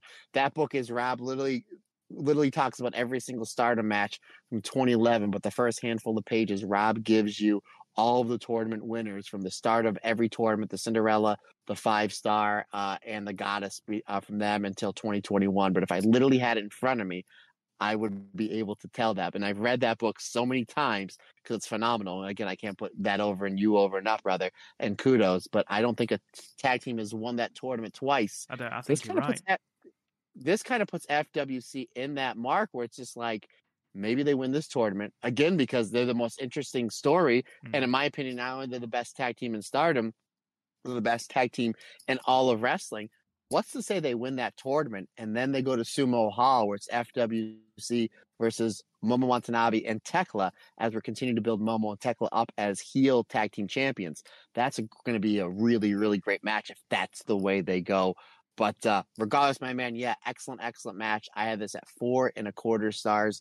This was really terrific and a great, great story. And then I think everybody sang happy birthday to Hazuki after this match as well. Yeah, it was Hazuki's birthday. Um, all of the stuff after the pinfall. Like the win is completely immaterial because the moment the bell sounds, Fukuoka Double Crazy are embracing on the floor. They're joined by Saya and Hanan. There's some incredibly emotional speeches from both Saya and Koguma. Saya just breaks down and hugs Hazuki. Um, and Hazuki takes to the microphone and then she completely breaks down um, and then obviously yeah leads the crowd in a uh, in a chant of happy birthday to herself because it was her birthday. It's also uh, hazuki's birthday as we record today. So happy birthday to azumi who we're going to be talking about right now because the semi-main event Toni storm and mina shirakawa versus mayu and azumi. Now I do love the fact that we got the monochrome filter for Toni's entrance, as we did for the press conference, which again we're going to uh, we're going to preface the uh, the preview with. Um, my only concern, I, I said this going into the whole Toni Storm program, was whether Toni's timeless gimmick would translate well to Japan.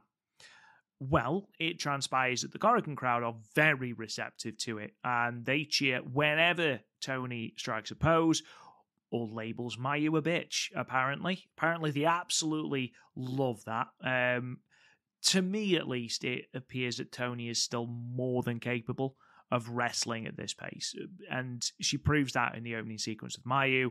And then when all four women then opt to begin throwing themselves around the ring with uh, with released German suplexes. But we've seen it before with the difference in styles between American and Japanese wrestling that a wrestler might have to slow down somewhat because it is a more entertainment focused product in America. And of course, the timeless gimmick in itself is more entertainment. And the most notable case of a wrestler having to slow down to you know wrestle the American style is Iyo Sky.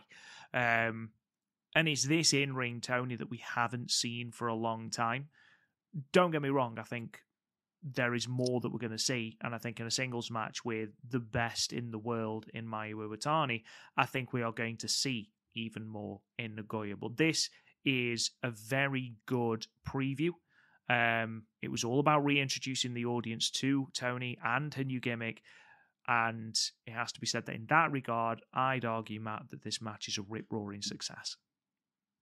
Yeah, this was great. Uh, this is my favorite match of the show. I wish it went a little bit more more than 13 minutes, but again, maybe I'm just being greedy because you have Toni Storm, who's fantastic, Mina Shirakawa, worldwide Mina, and two of my favorite wrestlers in current day wrestling, and Mayu Iwatani and Azumi uh, in this match. Yeah, I thought this was great. And again, and I, I, I had this conversation texting with Andy back and forth, considering the fact that Toni is in Japan and she's in she's in going to be in Japan for the better part of it was like seven or eight days right? So like, what is she doing in Japan? Like, she has this match.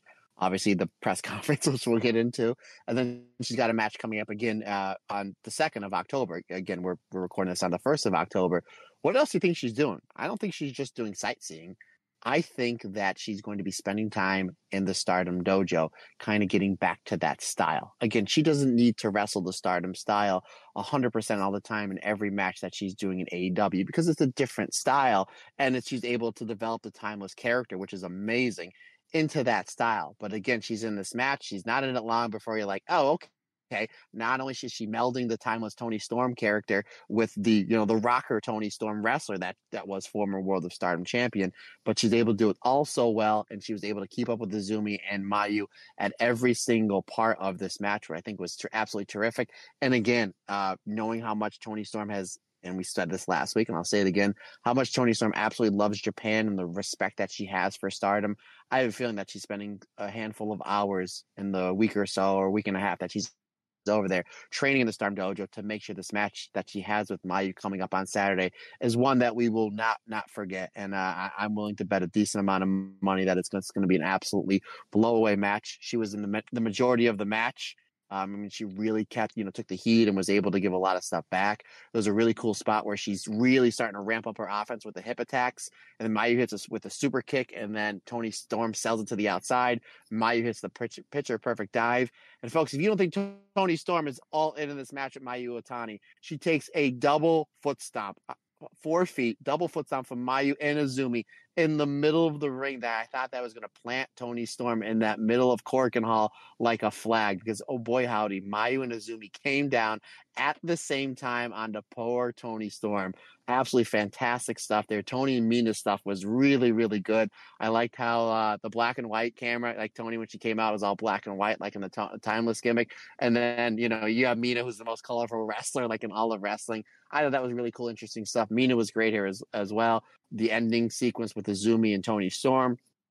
That was really good. We saw them have like a six or seven minute match on Collision a handful of months ago. That was really, really good. And actually Gardner, I think, the highest rating for that collision was that match. I think it had the highest quarter hour outer rating hour rating of that episode of Collision. And these two kind of, you know, mimic that great match they had over here on American soil and the final few minutes with Toni Storm getting the win over Zumi, which was the right call. We know Zumi is in line for a future shot at the IWGP Championship. There's a possibility that she may win it, and rightfully so. But for the match going into Nagoya this weekend, the right call was for Toni Storm to get a win because she has not had, you know, she hasn't wrestled in Japan in the last four or five years, as you mentioned before, partner. So her getting a big win in Korakuen Hall over a superstar that's like a Azumi to really build up this match was the right call. Four and a quarter stars for me, my friend. Fantastic match, and everybody was over. Azumi, Mayu, Toni, Mina, everybody was over. The crowd was really, really into this match, which for me elevated that match even more.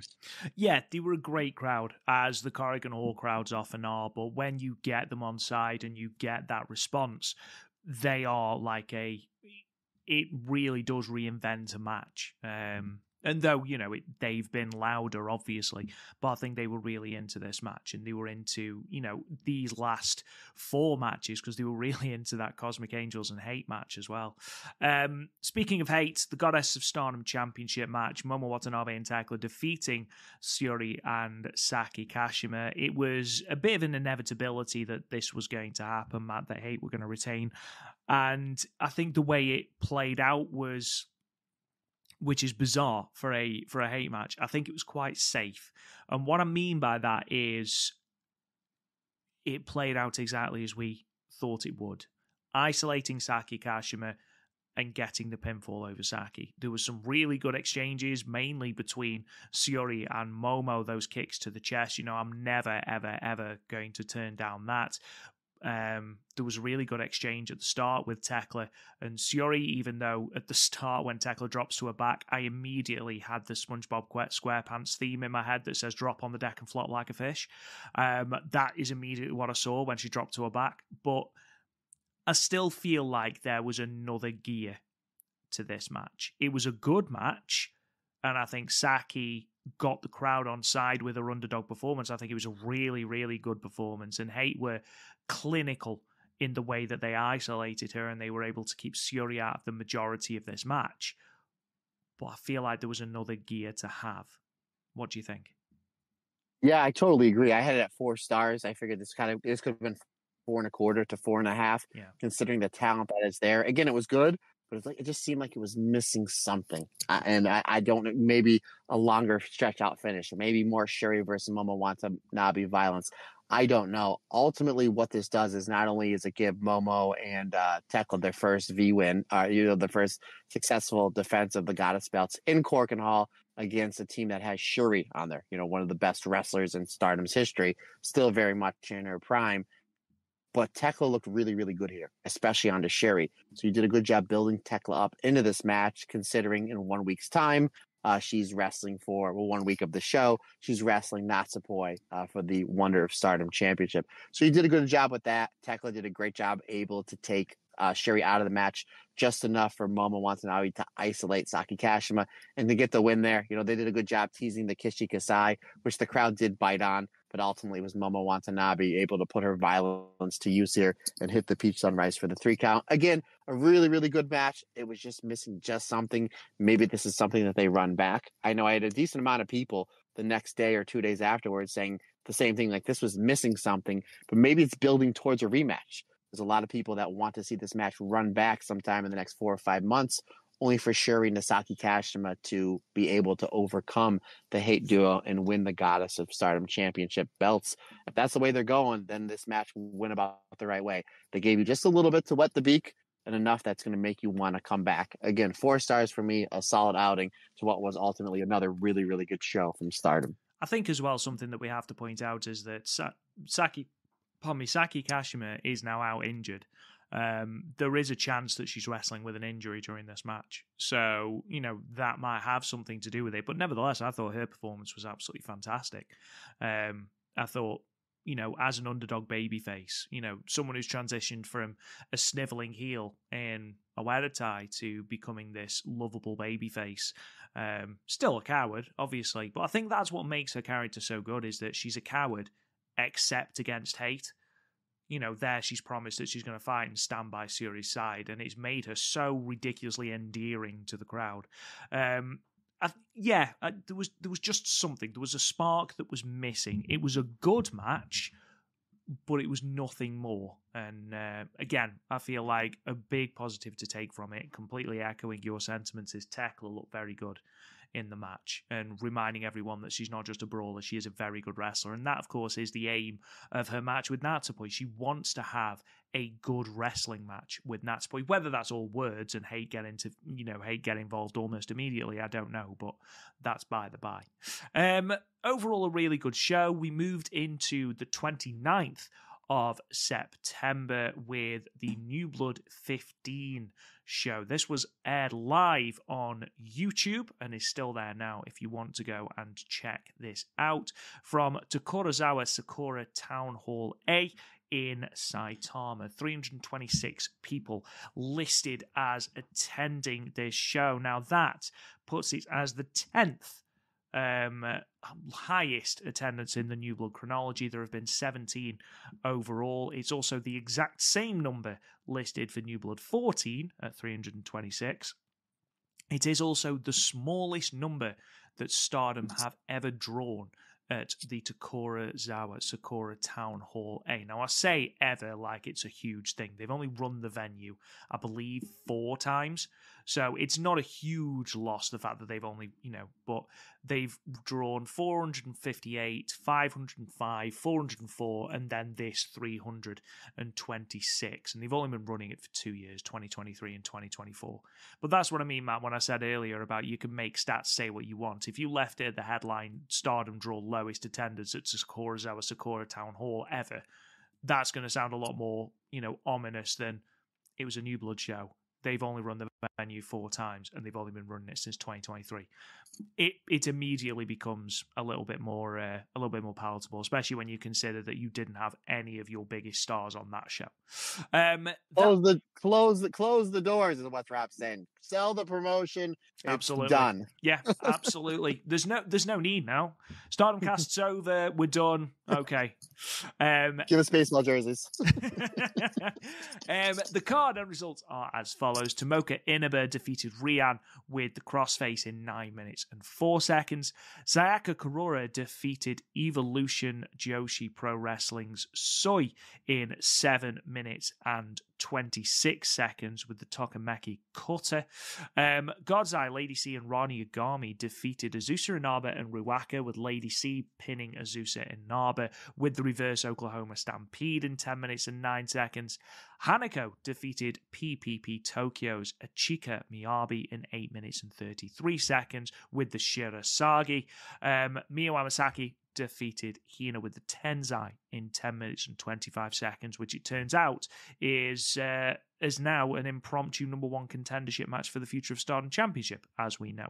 And then Future of Stardom title match. Rina gets an astonishing 12th successful title defense in this 500 plus day reign with the Future of Stardom title, submitting Aya Sakura with the Hydrangea in 14 minutes and 37 seconds. Um, Matt, this was a really quick card. The entire show was only, I think, an hour and 50 minutes, and there was a, like a 10 minute break in the middle of it. So, really easy show to watch. I would argue that there's not a great deal of, and I don't want this to sound horrible, not a great deal of substance in this show. There was some really eye-catching performances, and we're going to go into that in a moment. But in terms of shows that you only really need to see the last two, I would say this qualifies. Yeah, I mean, every, the every the matches were really good, but considering the fact of how spoiled we've been great with Stardom and Marigold, you know, over these past handful of months, this was just, you know, it was a good show. But considering the fact that every show has been great, um, yeah, it was kind of a two match show. I do like how Tomoka Inaba is now using a submission finisher. Like mm-hmm. usually we see her with the Inaba drop, the Mijinoko driver, and that penalty kick, the one shot, one kill, Tomoka kill, one kill. You know, like the light keeps going longer and longer. You know what I mean? But I like the fact that she's using a crossface. I mentioned uh, a couple weeks ago how great she is with her grappling.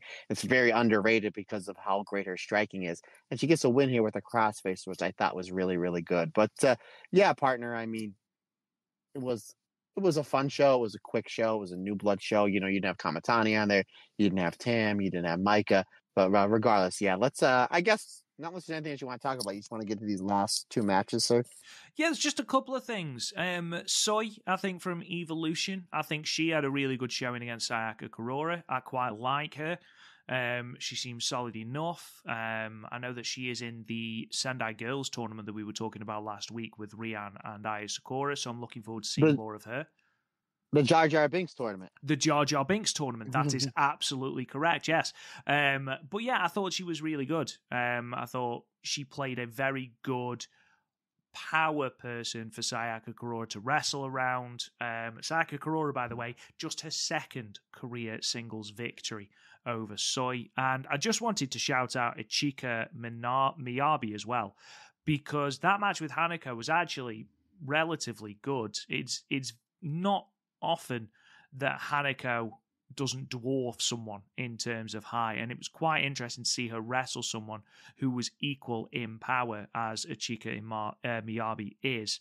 Um, and this match is even more impressive when you consider the fact that this is only her second match back after missing nine months of action to undergo gender reaffirming surgery. So, absolutely great stuff from Ichika Miyabi. But yeah, let's get straight into uh, the Miyu match um, with Hina. Um, for the first part of this match, Hina is all, almost in complete control, isn't she? Yeah, I mean, this is oh, another great outing here from Hina, who's doing a great job building herself up. Again, considering the fact that we thought that she was a shoe in to uh, end her sister's legendary run as future Stardom champion. So we're like, where are they going with Hina? Obviously, again, I think this is going to be building her up towards a high speed championship match. She gets a big pinfall win in Korakuen Hall, has a semi main event match, and a great match with uh, Miyu Amasaki here. And again, it looks like Miyu Amasaki is you know, we didn't realize this was a number one contenders match, but we'll get into that in a moment, partner. It looks so, yeah, I mean, yeah. I mean, a great outing from Hina. Even Miyu Amasaki was doing a lot of the high speed stuff as well. So maybe somewhere down the road, she'll challenge her Neo Genesis stablemate for that high speed championship. I wouldn't say no to that. But uh, yeah, really solid outing from Hina that uh, she did a great job building herself up, only for Miyu Amasaki to be able to hit the Tenzai for the three count. A really, really solid match that had me kind of on the edge of my seat for those last near falls. I didn't know which way they were going. I thought maybe Hina would get another win here to kind of again build herself up, maybe for that hot, that's that shot at the high speed championship. And ultimately, it was just the uh, all the different variations of the DDT and the Tensai for Miyu Amasaki to pick up the win. Three and three fourth stars for me, partner yeah, I gave it three and a half for the exact same reason. You'd got sort of the dueling Hina targeting the back, looking for the modified jackhammer and the the Gedo clutch as well, um, and Miyu targeting the neck, ready for the Tensai, and it was really good actually. It's it makes you realize just how much progress both have made. Um, and how much they've improved in such a short space of time that they're able to maximize the time that they're given. Um, Miyu especially I'm really impressed with the with the progress. And Hina as well. Hina doesn't get the credit she deserves because she's not on as many shows. Even as Rina, she's not on as many shows. So I feel like this was a really good spot for them to have. You mentioned, Matt, about Hina potentially being in the high speed division. She is in that number one contendership, um, high speed uh, battle royal at Nagoya. So it'd be interesting to see if she's the one that comes out of it. Um, victorious. Um, Future of Stardom Championship match. Um, Aya Sakura, brand new gear, and to my mind at least, her best singles outing. I thought she was phenomenal here. Yeah, not only was this her best singles match, but they did a great job building up and teasing the finishes, not only from Aya Sakura, but from Rina in their tag matches that we've seen over the past few weeks where you didn't know which way it was going to go because they planted the seeds in our heads that it's like, oh, maybe it could be the head kick. Maybe it can be a roll up. Maybe it can be the triangle choke. Maybe it can be the hydrangea. They did a great job building this match up, and then in the as you guys were building towards the finish, you didn't know which way it was going to go. But Aya Sakura, yes, new gear looks fantastic. Comes out of the blocks, not intimidated at all, does the double leg takedown and really gets full mount and really starts to punishing Rina. We're seeing Rina on the back foot, which we really don't see that much, especially in these future stardom championship matches because of just again how many days she's been champion and how many successful title defenses that she that she has. And again, she's like one of the cool heels in the hate faction. But Aya really, really takes it to her. Eventually, though, Rina is able to use her experience to dominate a little bit of Aya Sakura. And we do see a lot of fire and fighting spirit from Aya Sakura Sakura. Uh, we get some really great stuff back and forth. Rina hit the diving knee bomb for a two count. Aya Sakura is able to eventually stack the jackknife for a 2.9 count that a lot of people thought that was going to be the finish and crowning a new champion. Then she uses that to a rolling armbar into the triangle choke, which again, we've seen Aya get some wins with. So a great job building that finish up. She hits a huge spin kick for a two count, but eventually Rina is able to weather the storm, the late storm from Aya Sakura, and lock in the hydrangea for the tap out. Three and three fourths stars for me, my friend. Uh, really, really good match to end this New Blood show. Yeah, absolutely. Completely agree with the three and three quarter stars. I think it was a great performance from Aya Sakura. Predictably good match for Rina. Um, I think the fact that Re- um, Aya Sakura had burned through the two ways that she defeated Rina in the first five minutes of the match. She'd already tried the triangle choke. She'd already tried the the surprise roll up as well it sort of played that story off of right she's run out of ideas here what's she going to do next and all Rina had to do really was wait her out and then lock in the hydrangea because it got to a point where Aya Sakura was almost playing for time as we neared the time limit because this went 14 minutes so we were close to that time limit. Oh no, we weren't. No, we weren't. It's a 30 minute time limit, isn't it, with the future belt? No, it is. It is 15. I was right. It is 15. Um, Look at that. I was right. I don't know why I doubted myself. Um, but yeah, I I did enjoy this match. I enjoyed Aya's performance. Rina's been phenomenal as um as Future of Stardom champion. Of course, Miyu Amasaki comes out, challenges next. That puts us um, with our next challenger, which of course will take place in Nagoya Golden Fight. Where do you, if you were a betting man, Matt, what is your opinion of this? Do you think that Miyu is the one to dethrone Rina. We've said it for, you know, I don't think realistically either of us believed Aya had a chance. Horrible as that sounds, and I don't mean it to sound horrible. But do you think Miyu is the one? Do you think that Rina can progress from the Future of Stardom Championship scene now. Rob, I'm gonna take your. I'm gonna answer your question with a question. We've been seeing these uh, this Future Stardom Championship defended in the main event of these New Blood shows, and we made mention about how the attendance isn't huge, and uh, we joked about them shutting the doors, which again we were joking, folks. Mm-hmm. Who is the bigger star that's going to be drawing more tickets, Rina or a new champion in Miyu Amasaki? I mean, it's a difficult question that because it's not like Rina has been a champion that everyone's bored of. She's been a dominant champion, a really good champion. She's had good matches. However, with Miyu Amasaki being part of Neo Genesis, who are a faction that everyone seems to love, I would argue that on the balance of probability, Miyu Amasaki would maybe at least initially draw more draw more uh, tickets. Yeah, because it's something new, very much like the Neo Genesis. Again, Rina's great champion, and she's doing a good job 300, 326 people that they had in here. It's not a bad number. Again, considering the fact of how young she is, and it's, the, it's not the red belt, it's the future of Stardom Championship belt. And again, you don't have a, a Tam or Kamitani or Mayu on the show to help supplement that big championship match. I think the fact that, again, Rina, she's done everything with the spell she can. I think that if you put the belt on one Miyu Amasaki and then you have her main event some of these new blood shows, and considering again the fact that Neo Genesis is the cool hot faction, that you're basically just you're going to capitalize on the momentum that is Neo Genesis. So um, I, obviously we're going to talk about here in two or three minutes, but you're asking me for my pick. I think it's to be Miyu Amasaki. But again, the Hanako thing is there as well. So maybe you go there. Maybe Miyu has like a two, three month run with it. You know, not every run can be Hanan. Not every run can be Rina. You know, you have to have the kind of those shorter runs there. Maybe this is one with Miyu Amasaki where it's like, hey, you know, let's let's capitalize on everything that's going on Neo Genesis. Again, Rina's Rina's done everything she can. Let's move her up the card into something bigger and better for her. Uh, let's let's give Miyu a run with this belt. Let's see what she can do and go from there. So I mean, there's a lot of different things you can do if they keep it on Rina. Then it's like, gee, she she's kind of coming after Toni Storm's V15 record with the SWA belt as the most successful title defenses in the history of Stardom for one championship run. So there's that story you can play as well.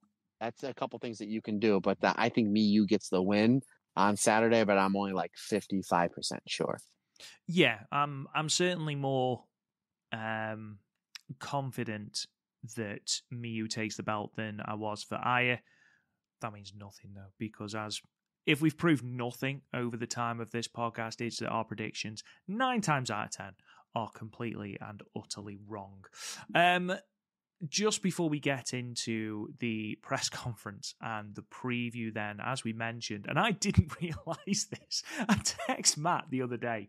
Was it yesterday? When I found out that Stardom actually had a Korakuen show tomorrow. I'd got no idea that this show was even happening. Um, that was this morning. Yeah, it was. That was this, this morning. morning. We are going back and forth. Yeah. It's, I'm like, oh, it's on my daughter's birthday. I'm like, yeah, that's what her birthday present is the Korakuen Hall show that's got Toni Storm and Maika on it. So, uh, Absolutely. Uh... um, yeah, I'd got no idea. I don't know how I'd missed this show, but there you are. It is another one of the Stardom Nighter in Korakuen Hall shows. So it's due to air 6.30 p.m. Japan time, uh, which I think is 11.30 p.m. a.m. British Standard Time, which I think is 6.30 a.m. Eastern time, I, believe. Um, but yeah, Korakuen Hall, in terms of ticket sales, um, front row seats are sold out, as are the women only seats. They've done these nighter shows twice. Drew 700 the first time, drew over a thousand the second time. I'm hoping that they get close to that thousand number. Obviously, we've got another Toni Storm appearance on this show as well. No title matches, however. So just to run through this card, we have um, Cosmic Angels in a tag team match. Tam Nakano and Aya Sakura taking on uh, Suzu Suzuki and Azumi of Neo Genesis. Um, in terms of a red belt preview, we have got a six woman tag for the future of Stardom preview, which sees uh, Tomoka Inaba, Hina, and Miyu Amasaki taking on the hate team of Rina, Azusa Inaba, and Ruaka, which means we've got the Inaba sisters facing off with each other. Momo Kohgo faces off with Momo Watanabe in singles action in the Momo name on a pole match.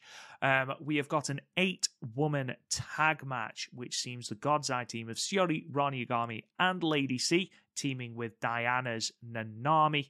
Um, and she is replacing, of course, Saki Kashima, who is out injured, taking on the EXV team of Xena, Waka Tsukiyama, Rian, and Hanako. Tag team action, a preview of that singles match that we've got coming up. Fukuoka Double Crazy, Hazuki and Koguma taking on the Neo Genesis team of Starlight Kid and Mei Seira. We've then got an eight woman tag, which is a Wonder of Stardom preview and a single match preview for Sayaka Kurara and Saya Kamitani. Cosmic Angels team of Natsupoi, Sayaka Kurara, Saori Anou, and Yuna Mizumori taking on the Hate team of Natsuko Tora, Thekla Saya and Konami. And then another IWGP Women's Championship preview match.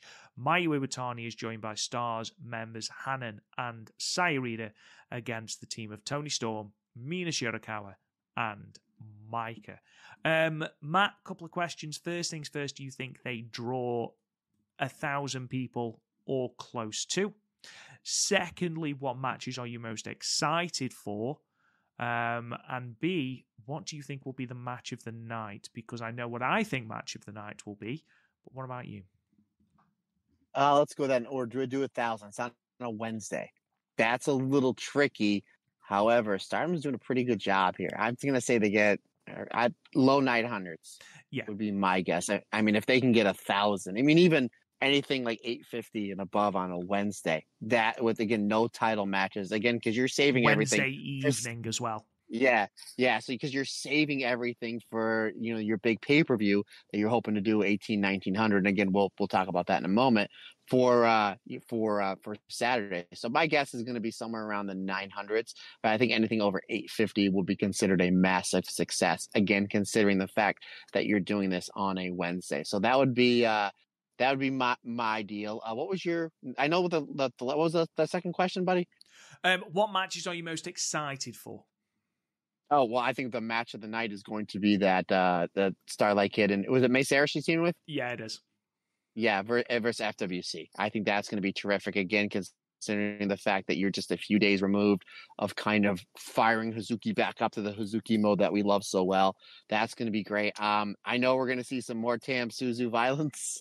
Um, I, I mean, I hope we see it. I hope we get it. I know we're gonna get it. I hope it's not too violent, where maybe one of these ladies doesn't make it to the show on Saturday because hmm. going by the matches we reviewed last week, we're like, holy jeez, uh, these two are gonna light it up. And of course, Mayu teaming with Wing Gory to take on Mina, Maika, and Toni Storm. That's going to be great. And considering the fact that, and I texted you this earlier today, considering the fact of how Stardom had this card posted, it looked like the Tam and Sayaka uh, uh, versus Suzu and Azumi match was going to be last. That like it was going to be the main event. I could be wrong, but it looked like that Toni Storm and Mayu uh, preview is like your opening match, like your free YouTube match, which would be absolutely really brilliant because ultimately you're building up Tam and Suzu. Like that's mm-hmm. your big match with Mayu and Toni Storm, probably your semi-main event. That's going to a lot of draw a lot of eyes and ears again, especially with Walker Stewart doing the English commentary, which I'm so excited for. But like, if you put that match on free on your YouTube, I think that's just a genius move. I really, really do. So I don't know if that either goes first. I think that match either needs to go first or it needs to go last. But those are the matches that I'm really looking forward to. And the fact that we're going to get uh, Zusa versus Tomoka on opposite sides of a multi person match is really, really intriguing for me. Again, what I think is going to be the best match is that Neo Genesis tag match versus FWC and Hazuki and Koguma, which again could, could kind of be kind of the spark that eventually gets Hazuki and Koguma to maybe, maybe after the match, they say, hey, let, us go for the uh, to win the goddess tournament because I think you're going to start seeing teams being announced, and there's a possibility we always know on these big pay per views that after the second or third match, they have some big announcements. So I wouldn't be shocked if we're seeing uh, some uh, teams announce for the Goddess tournament coming up at the end of this month. But ultimately, a really, really stacked show. And happy birthday, Lily, because for your birthday present, you get Suzu and Tam Violence. I don't know what else a kid can want that's leaving her teens and going into her 20s than Tam and Suzu beating each other up on her birthday in Korakuen Hall, buddy. Absolutely. Couldn't agree more. It's what I would want for my birthday. um, something that um, let's let's move on then to the press conference just because it sort of plays into um, the Hazuki and Starlight Kid match. So the press conference, there's a couple of notable things to come out of this press conference. All of them bar one Toni Storm. Uh, the first thing I wanted to talk about is there was a Tokyo Sports interview with Starlight Kid where she just flat out says she hates Hazuki. Like, just flat out said she hates Hazuki. For basically because she left and then came back. Um, and they sort of piggybacked on that during the um, during the press conference with Hazuki saying, "I hate you too." So we have gone from no build to a lot of build and a lot of fire and vitriol very, very quickly. And I think that is another thing that adds to this tag match in Korakuen. I think that we see a proper explosive Hazuki match. Yeah, yeah, me and you just did alternate commentary not that long ago of Hazuki and Starlight Kid from the their match from the 2022 Five Star Grand Prix, which was a very underrated match in that great tournament. And I'm assuming we're kind of going to we're going to be seeing more of that come. Obviously, this Korakuen show, we're going to get a little bit sprinkle that in in the tag match. But for the big tag, ma- uh, the big singles match coming up, uh, this Saturday. I think we're going to see that. And considering the fact that we have a revamped up Hazuki, and as good as Starlight Kid was two years ago, she's better now, which is crazy to say because boy, howdy, she was great in 2022. Um, yeah, it's really interesting. And the fact that, again, Starlight Kid is very loyal to Star and was like, you left and came back and you won all this fanfare and you get all these you had a red belt match i've never had a red belt match before i only had one shot at the world wonder of stardom championship you've had two of them since you came back and unsuccessful so it's like yeah, you kind of have that story story there as well, considering the fact that uh, they kind of are building a little bit more fire onto this. Where like last week, it looked like it was Starlight Kid basically telling Hazuki like, snap out of this and don't go to the dark side like I did back in 2021 because you're just going to get used and abused like how I did. But now we're adding another layer where it's like we don't like each other, but there's some respect there. I mean, there there obviously has to be. So yeah, that's a really really interesting story. And this is interesting considering the fact that on these pay per views, Rob, usually the singles matches we get are title matches. We have two singles matches on this show that have really some cool implications. This match, and then Sakura and Saya Kamitani, and then you're we're adding on then four championship matches. So again, it's really it's something different that they're doing. You know, it's like you can't always do the same old, same old. Let's kind of shake things up a little bit, which we've seen the Stardom Booking Committee do. Again, they're giving they give away the free the first match on these big shows free on YouTube. And considering the fact that some of the matches that we got, Mina versus Kamitani a couple weeks ago, more than likely, I think on Wednesday, a match that's got Toni Storm versus Mayu in tag matches. Um, and now we've seen the fact that they'd have no problem having main eventers eating pinfalls on these Stardom World shows as long as it goes somewhere. Not as many time limit draws. Um, that's something different that the new brass of Stardom's been doing. And now the fact that we're putting on more singles matches that aren't championship matches on these pay per views is really, really intriguing. And obviously, this is one that can steal the entire show because we just know how damn good Hazuki is and how damn good Starlight Kid is. So, yeah, really interesting. And now we're adding on the layers of this press conference. And I just can't, I'm just, you know, I, I, kudos to you, buddy. The fact that you're picking something out that happened in the press conference, other than Toni Storm, because boy howdy, to quote what somebody does in a movie, because Toni Storm is a movie star, she's timeless. She really chewed up the scenery in this press conference. Goodness gracious me! Like I don't know how you could possibly, like, it is so ridiculously unhinged. This promo, completely unhinged like she's having an affair with Stan Hansen. she's having to drink like chewing tobacco dribbled down her back. She's got that. Godzilla doesn't have her thighs. Mothra doesn't have her flaps. She threw a shoe at Mayu, who then asks, Is this for me? Can I take this home? Like, it's. I do not understand where she gets this from, but she is so so charismatic. It's unreal, Matt. Like, it's such an unhinged promo, but it's so damn good. And the fact that she has got people in there who don't speak English and they're still laughing because of her delivery, incredible stuff. Yeah, and I don't. Uh, correct me if I'm wrong, partner. And I, we know it's a G-rated podcast, so we're going to bend that G to like uh to PG here in a minute. But didn't she say something? She's taken a lariat from Stan Hansen and wasn't from his arms.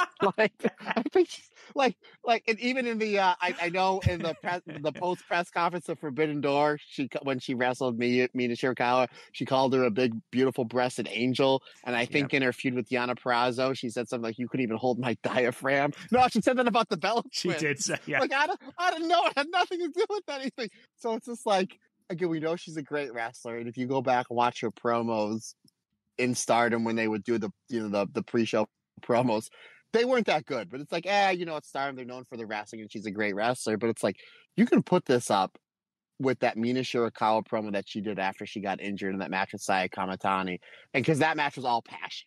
That promo was mm-hmm. all passion out of nowhere, where you did have like the funny, the comedic, but the stuff that was making sense.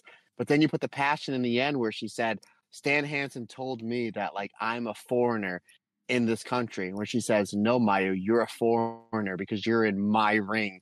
Even though the ring's in Japan, I was like, oh my god she went from and she does this in all of her promos she went she goes from like the comedic stuff that's actually really funny and i'm a giant fan of stan hansen as you are and i just thought that was really really hilarious all the stuff she said but then at the very end she kicks straight serious and basically says no you're the foreigner because even though i'm in your country you're in my ring.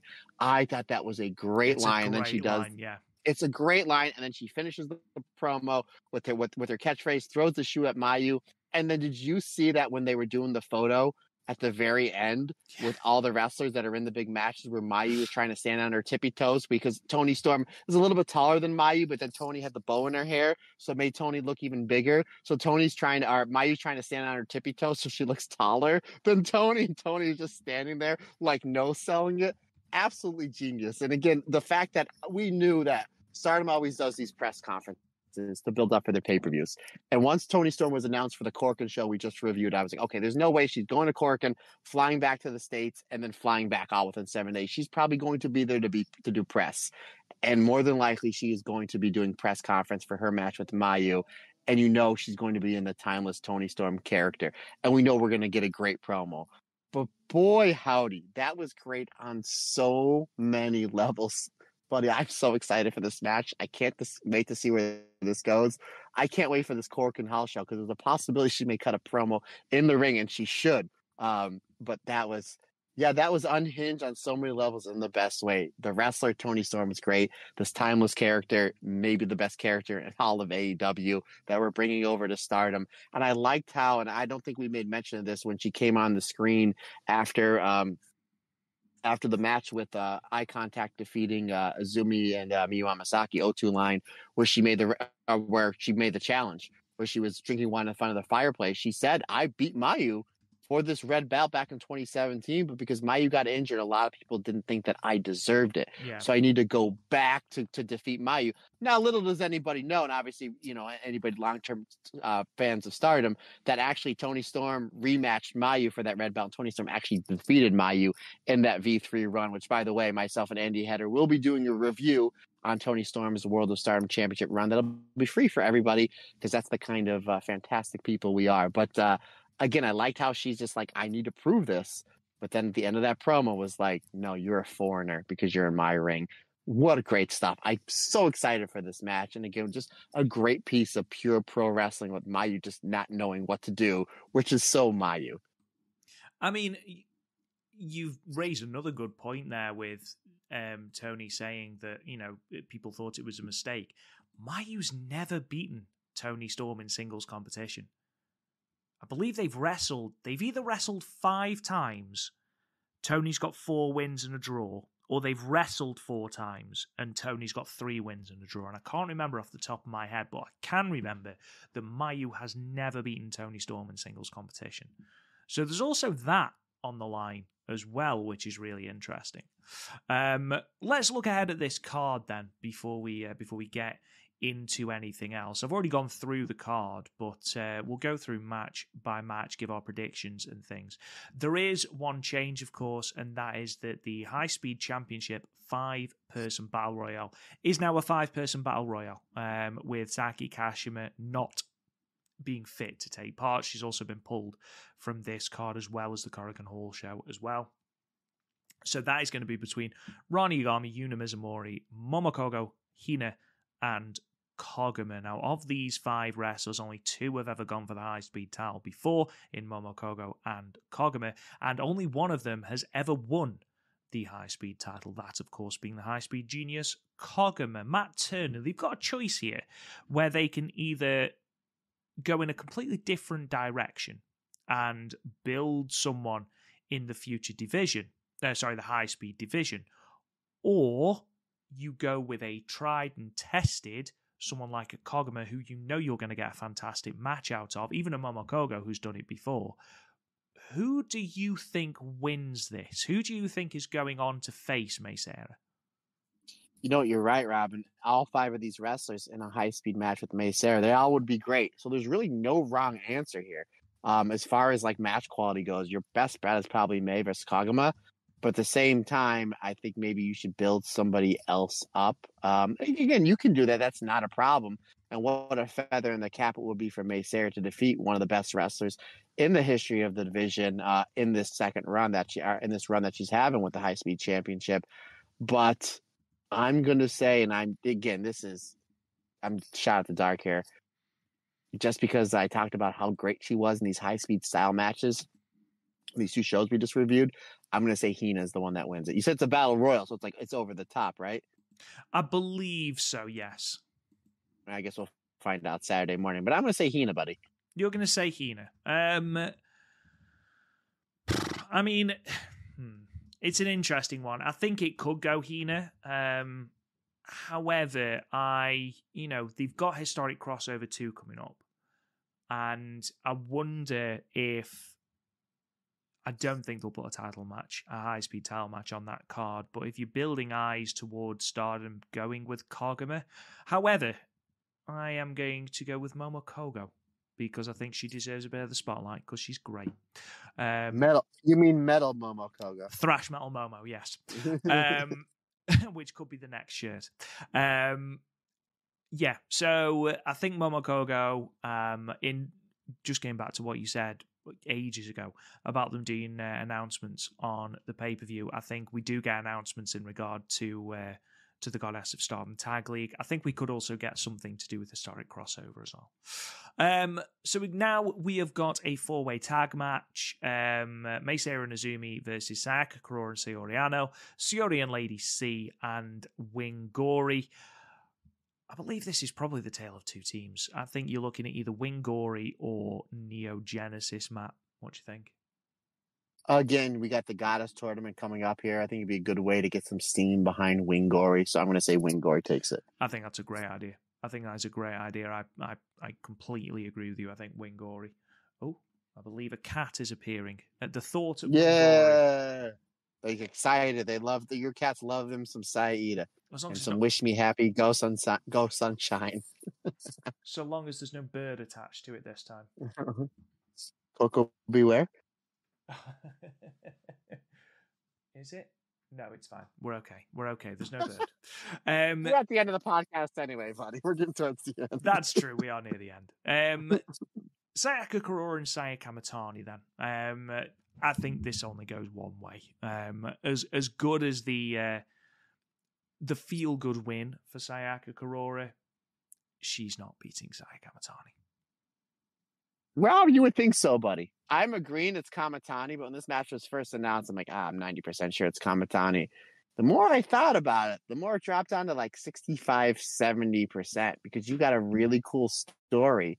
Wouldn't be the worst thing in the world to have another upset and have Sakura defeat Saya Kamitani on a big show like this. Again, I'm going with Kamitani, but it would not shock me if they just if they go back to back with Sak. Again, you're making a new star. Saya Kamitani is already there, right? She's already there. She's going to be there for as long as she needs to be.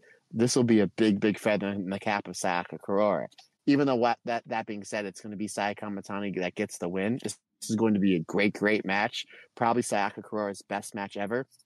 And I think Sayaka Kurara, her debut match was that New Blood versus Kamitani, was it not? Yes, I believe so. so yes, it was. Yeah, so you kind of have that underlying story And again, is Sakura going to be the able the one to pull the evil out of Kamitani, or does it go the other way and we see heel Sakura? I don't know. It's going to be a really good match, and I'm really interested at the underlying story that they have going into this and coming out of it as, as well.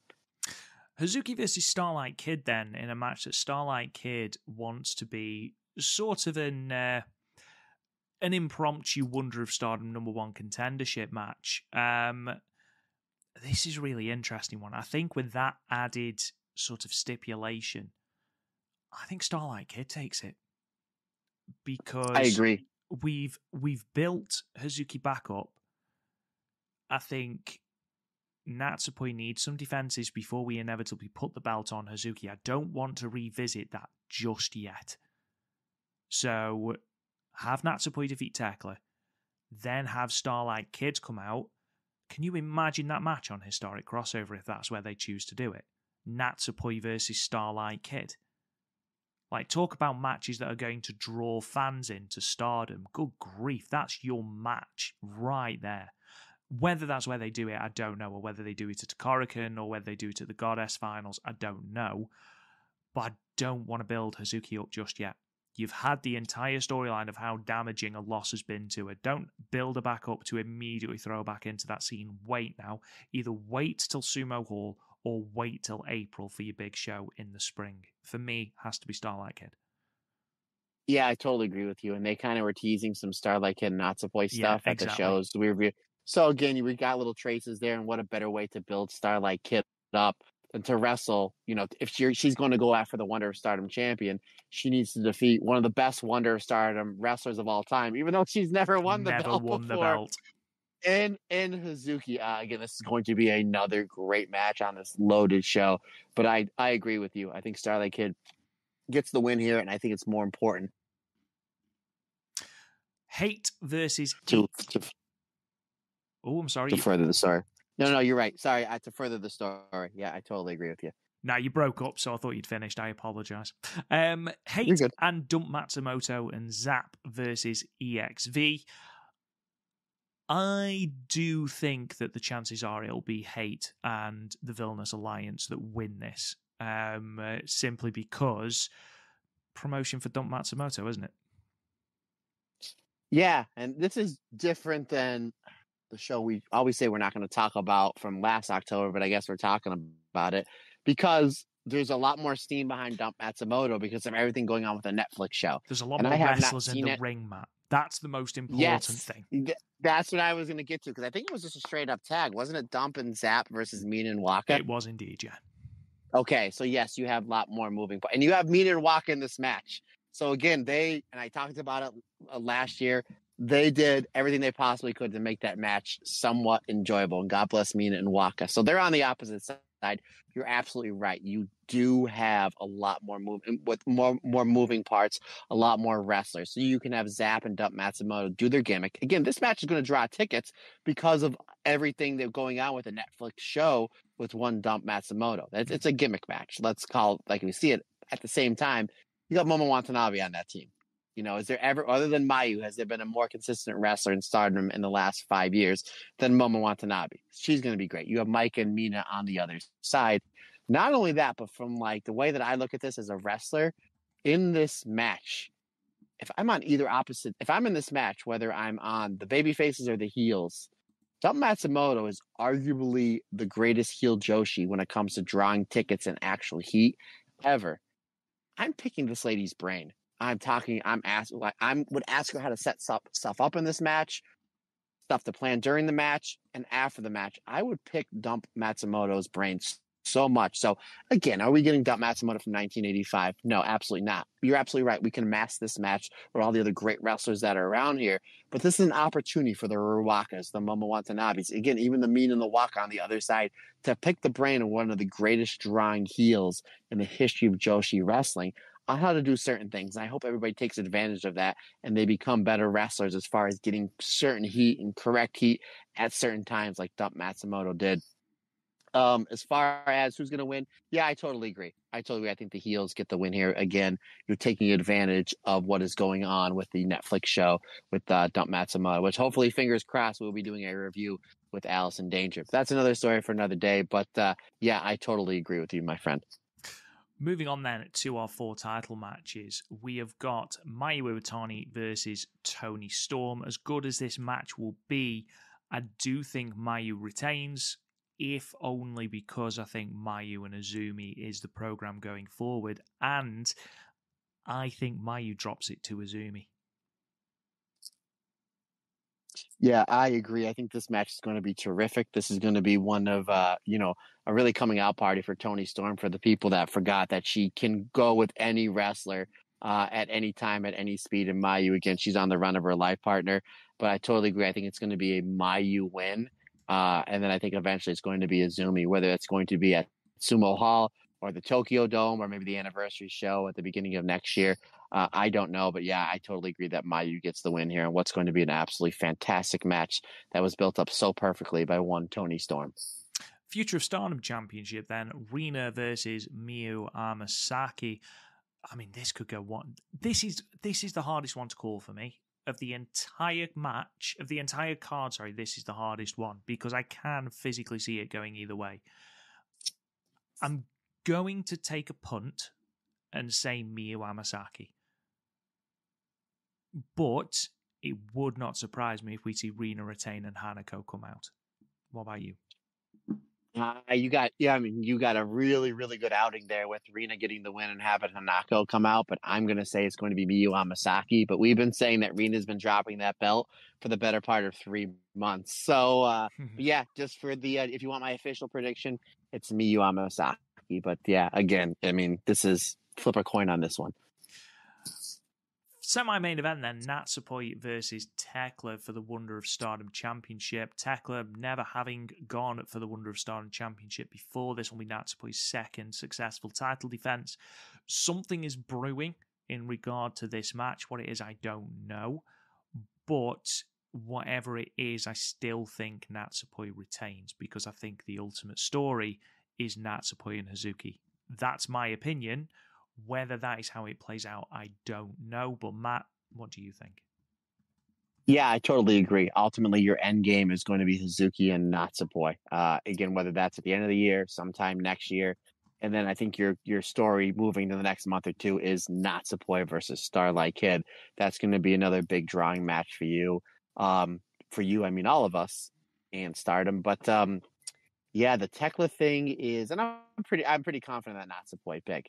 But the Thekla underlining story where she's like cheering Natsupoi on is really, really interesting. And I'm really looking forward to see how that part of the story unfolds. I think this is going to be another great match for Natsupoi. This is going to be Thekla's best match. This is going to be the match where Thekla shows to everybody that you can put her in a big, big time match on a loaded card like this, and she can absolutely deliver. I would be shocked that when we review this show next week, that we don't say that was that wasn't Thekla's best match because I think it's going to be the. I mean, considering the fact of how great she's been, especially this new heel, heel character, how violent she's been. We know that Natsupoi can work that style and work that style very, very well. So you watch her matches with Syuri. Um, I think that this is going to be Thekla's best match ever. I think I, I can't see you being wrong in that, my friend. And then moving on to your main event, or what is listed currently as the main event, and again, should be the main event. Um, uh, Tam Nakano defending her World of Stardom Championship against Suzu Suzuki. Really interesting, these two in the press conference as well.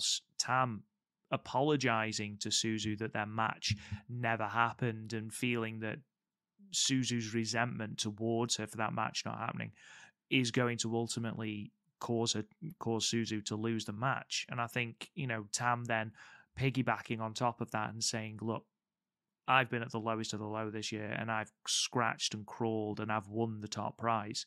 You know, that is what this belt means to me. I think Tam retains. I think it's going to be a very good match and I think it's going to be a very violent match, which I'm very excited for. But I feel there are other challenges for Tam.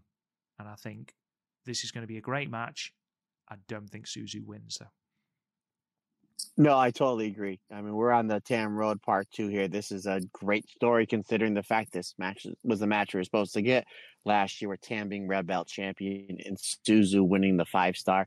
We're able to revisit this match, and they did a great job building this match up. And I'm sure the match in Korakuen Hall coming up uh, again Wednesday on the second is going to build it up even better, considering the fact how violent these two have been on these tag matches leading up. I think this is going to be terrific. It's going to be violent in all the best ways possible. But I totally agree. I think Tam outlasts Suzu, and I think even with Suzu with the loss, we're going to see that Suzu Suzuki is a constant main eventer in this stacked roster that is starting. But ultimately, yeah, I totally agree. I think Tam gets the uh, gets the win here. So, final thing, really, um, just looking at the show itself. So it's emanating from Aichi Prefectural Gymnasium. It's a show they have run, or a venue, sorry, that they've run four times. Um, and three of those four times they've drawn over 1,300 people. Um, drew 13, uh, 1,306 for Nagoya Supreme Fight, 1,353, which is currently the highest for the venue. Um, for Stardom at Stardom X Stardom 2022. Nagoya Golden Fight, which you'll remember was Tam versus Natsuko Tora, 1,315 big dip for the last time that they ran the venue, which was for Nagoya Big Winter, which was Suzu and Hazuki for the right to challenge contracts, That only drew 952. Matt Turner, if you were a betting man, and obviously I don't know the full capacity of this venue, but do you think we get closer to the 1,353 people, or would you think more conservatively? I think this. I think they break it. I think they get to 14, 1500. Again, you got Tam in the main event. You got Mayu and Toni Storm. Uh, you got Dump Matsumoto. Um, you know, coming off the Netflix thing.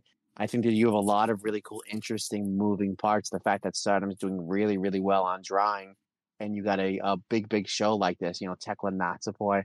I think that this one's going to do about 15, 1600 would be my guess. It's interesting. I I do think it'll be one of the bigger ones that they've done.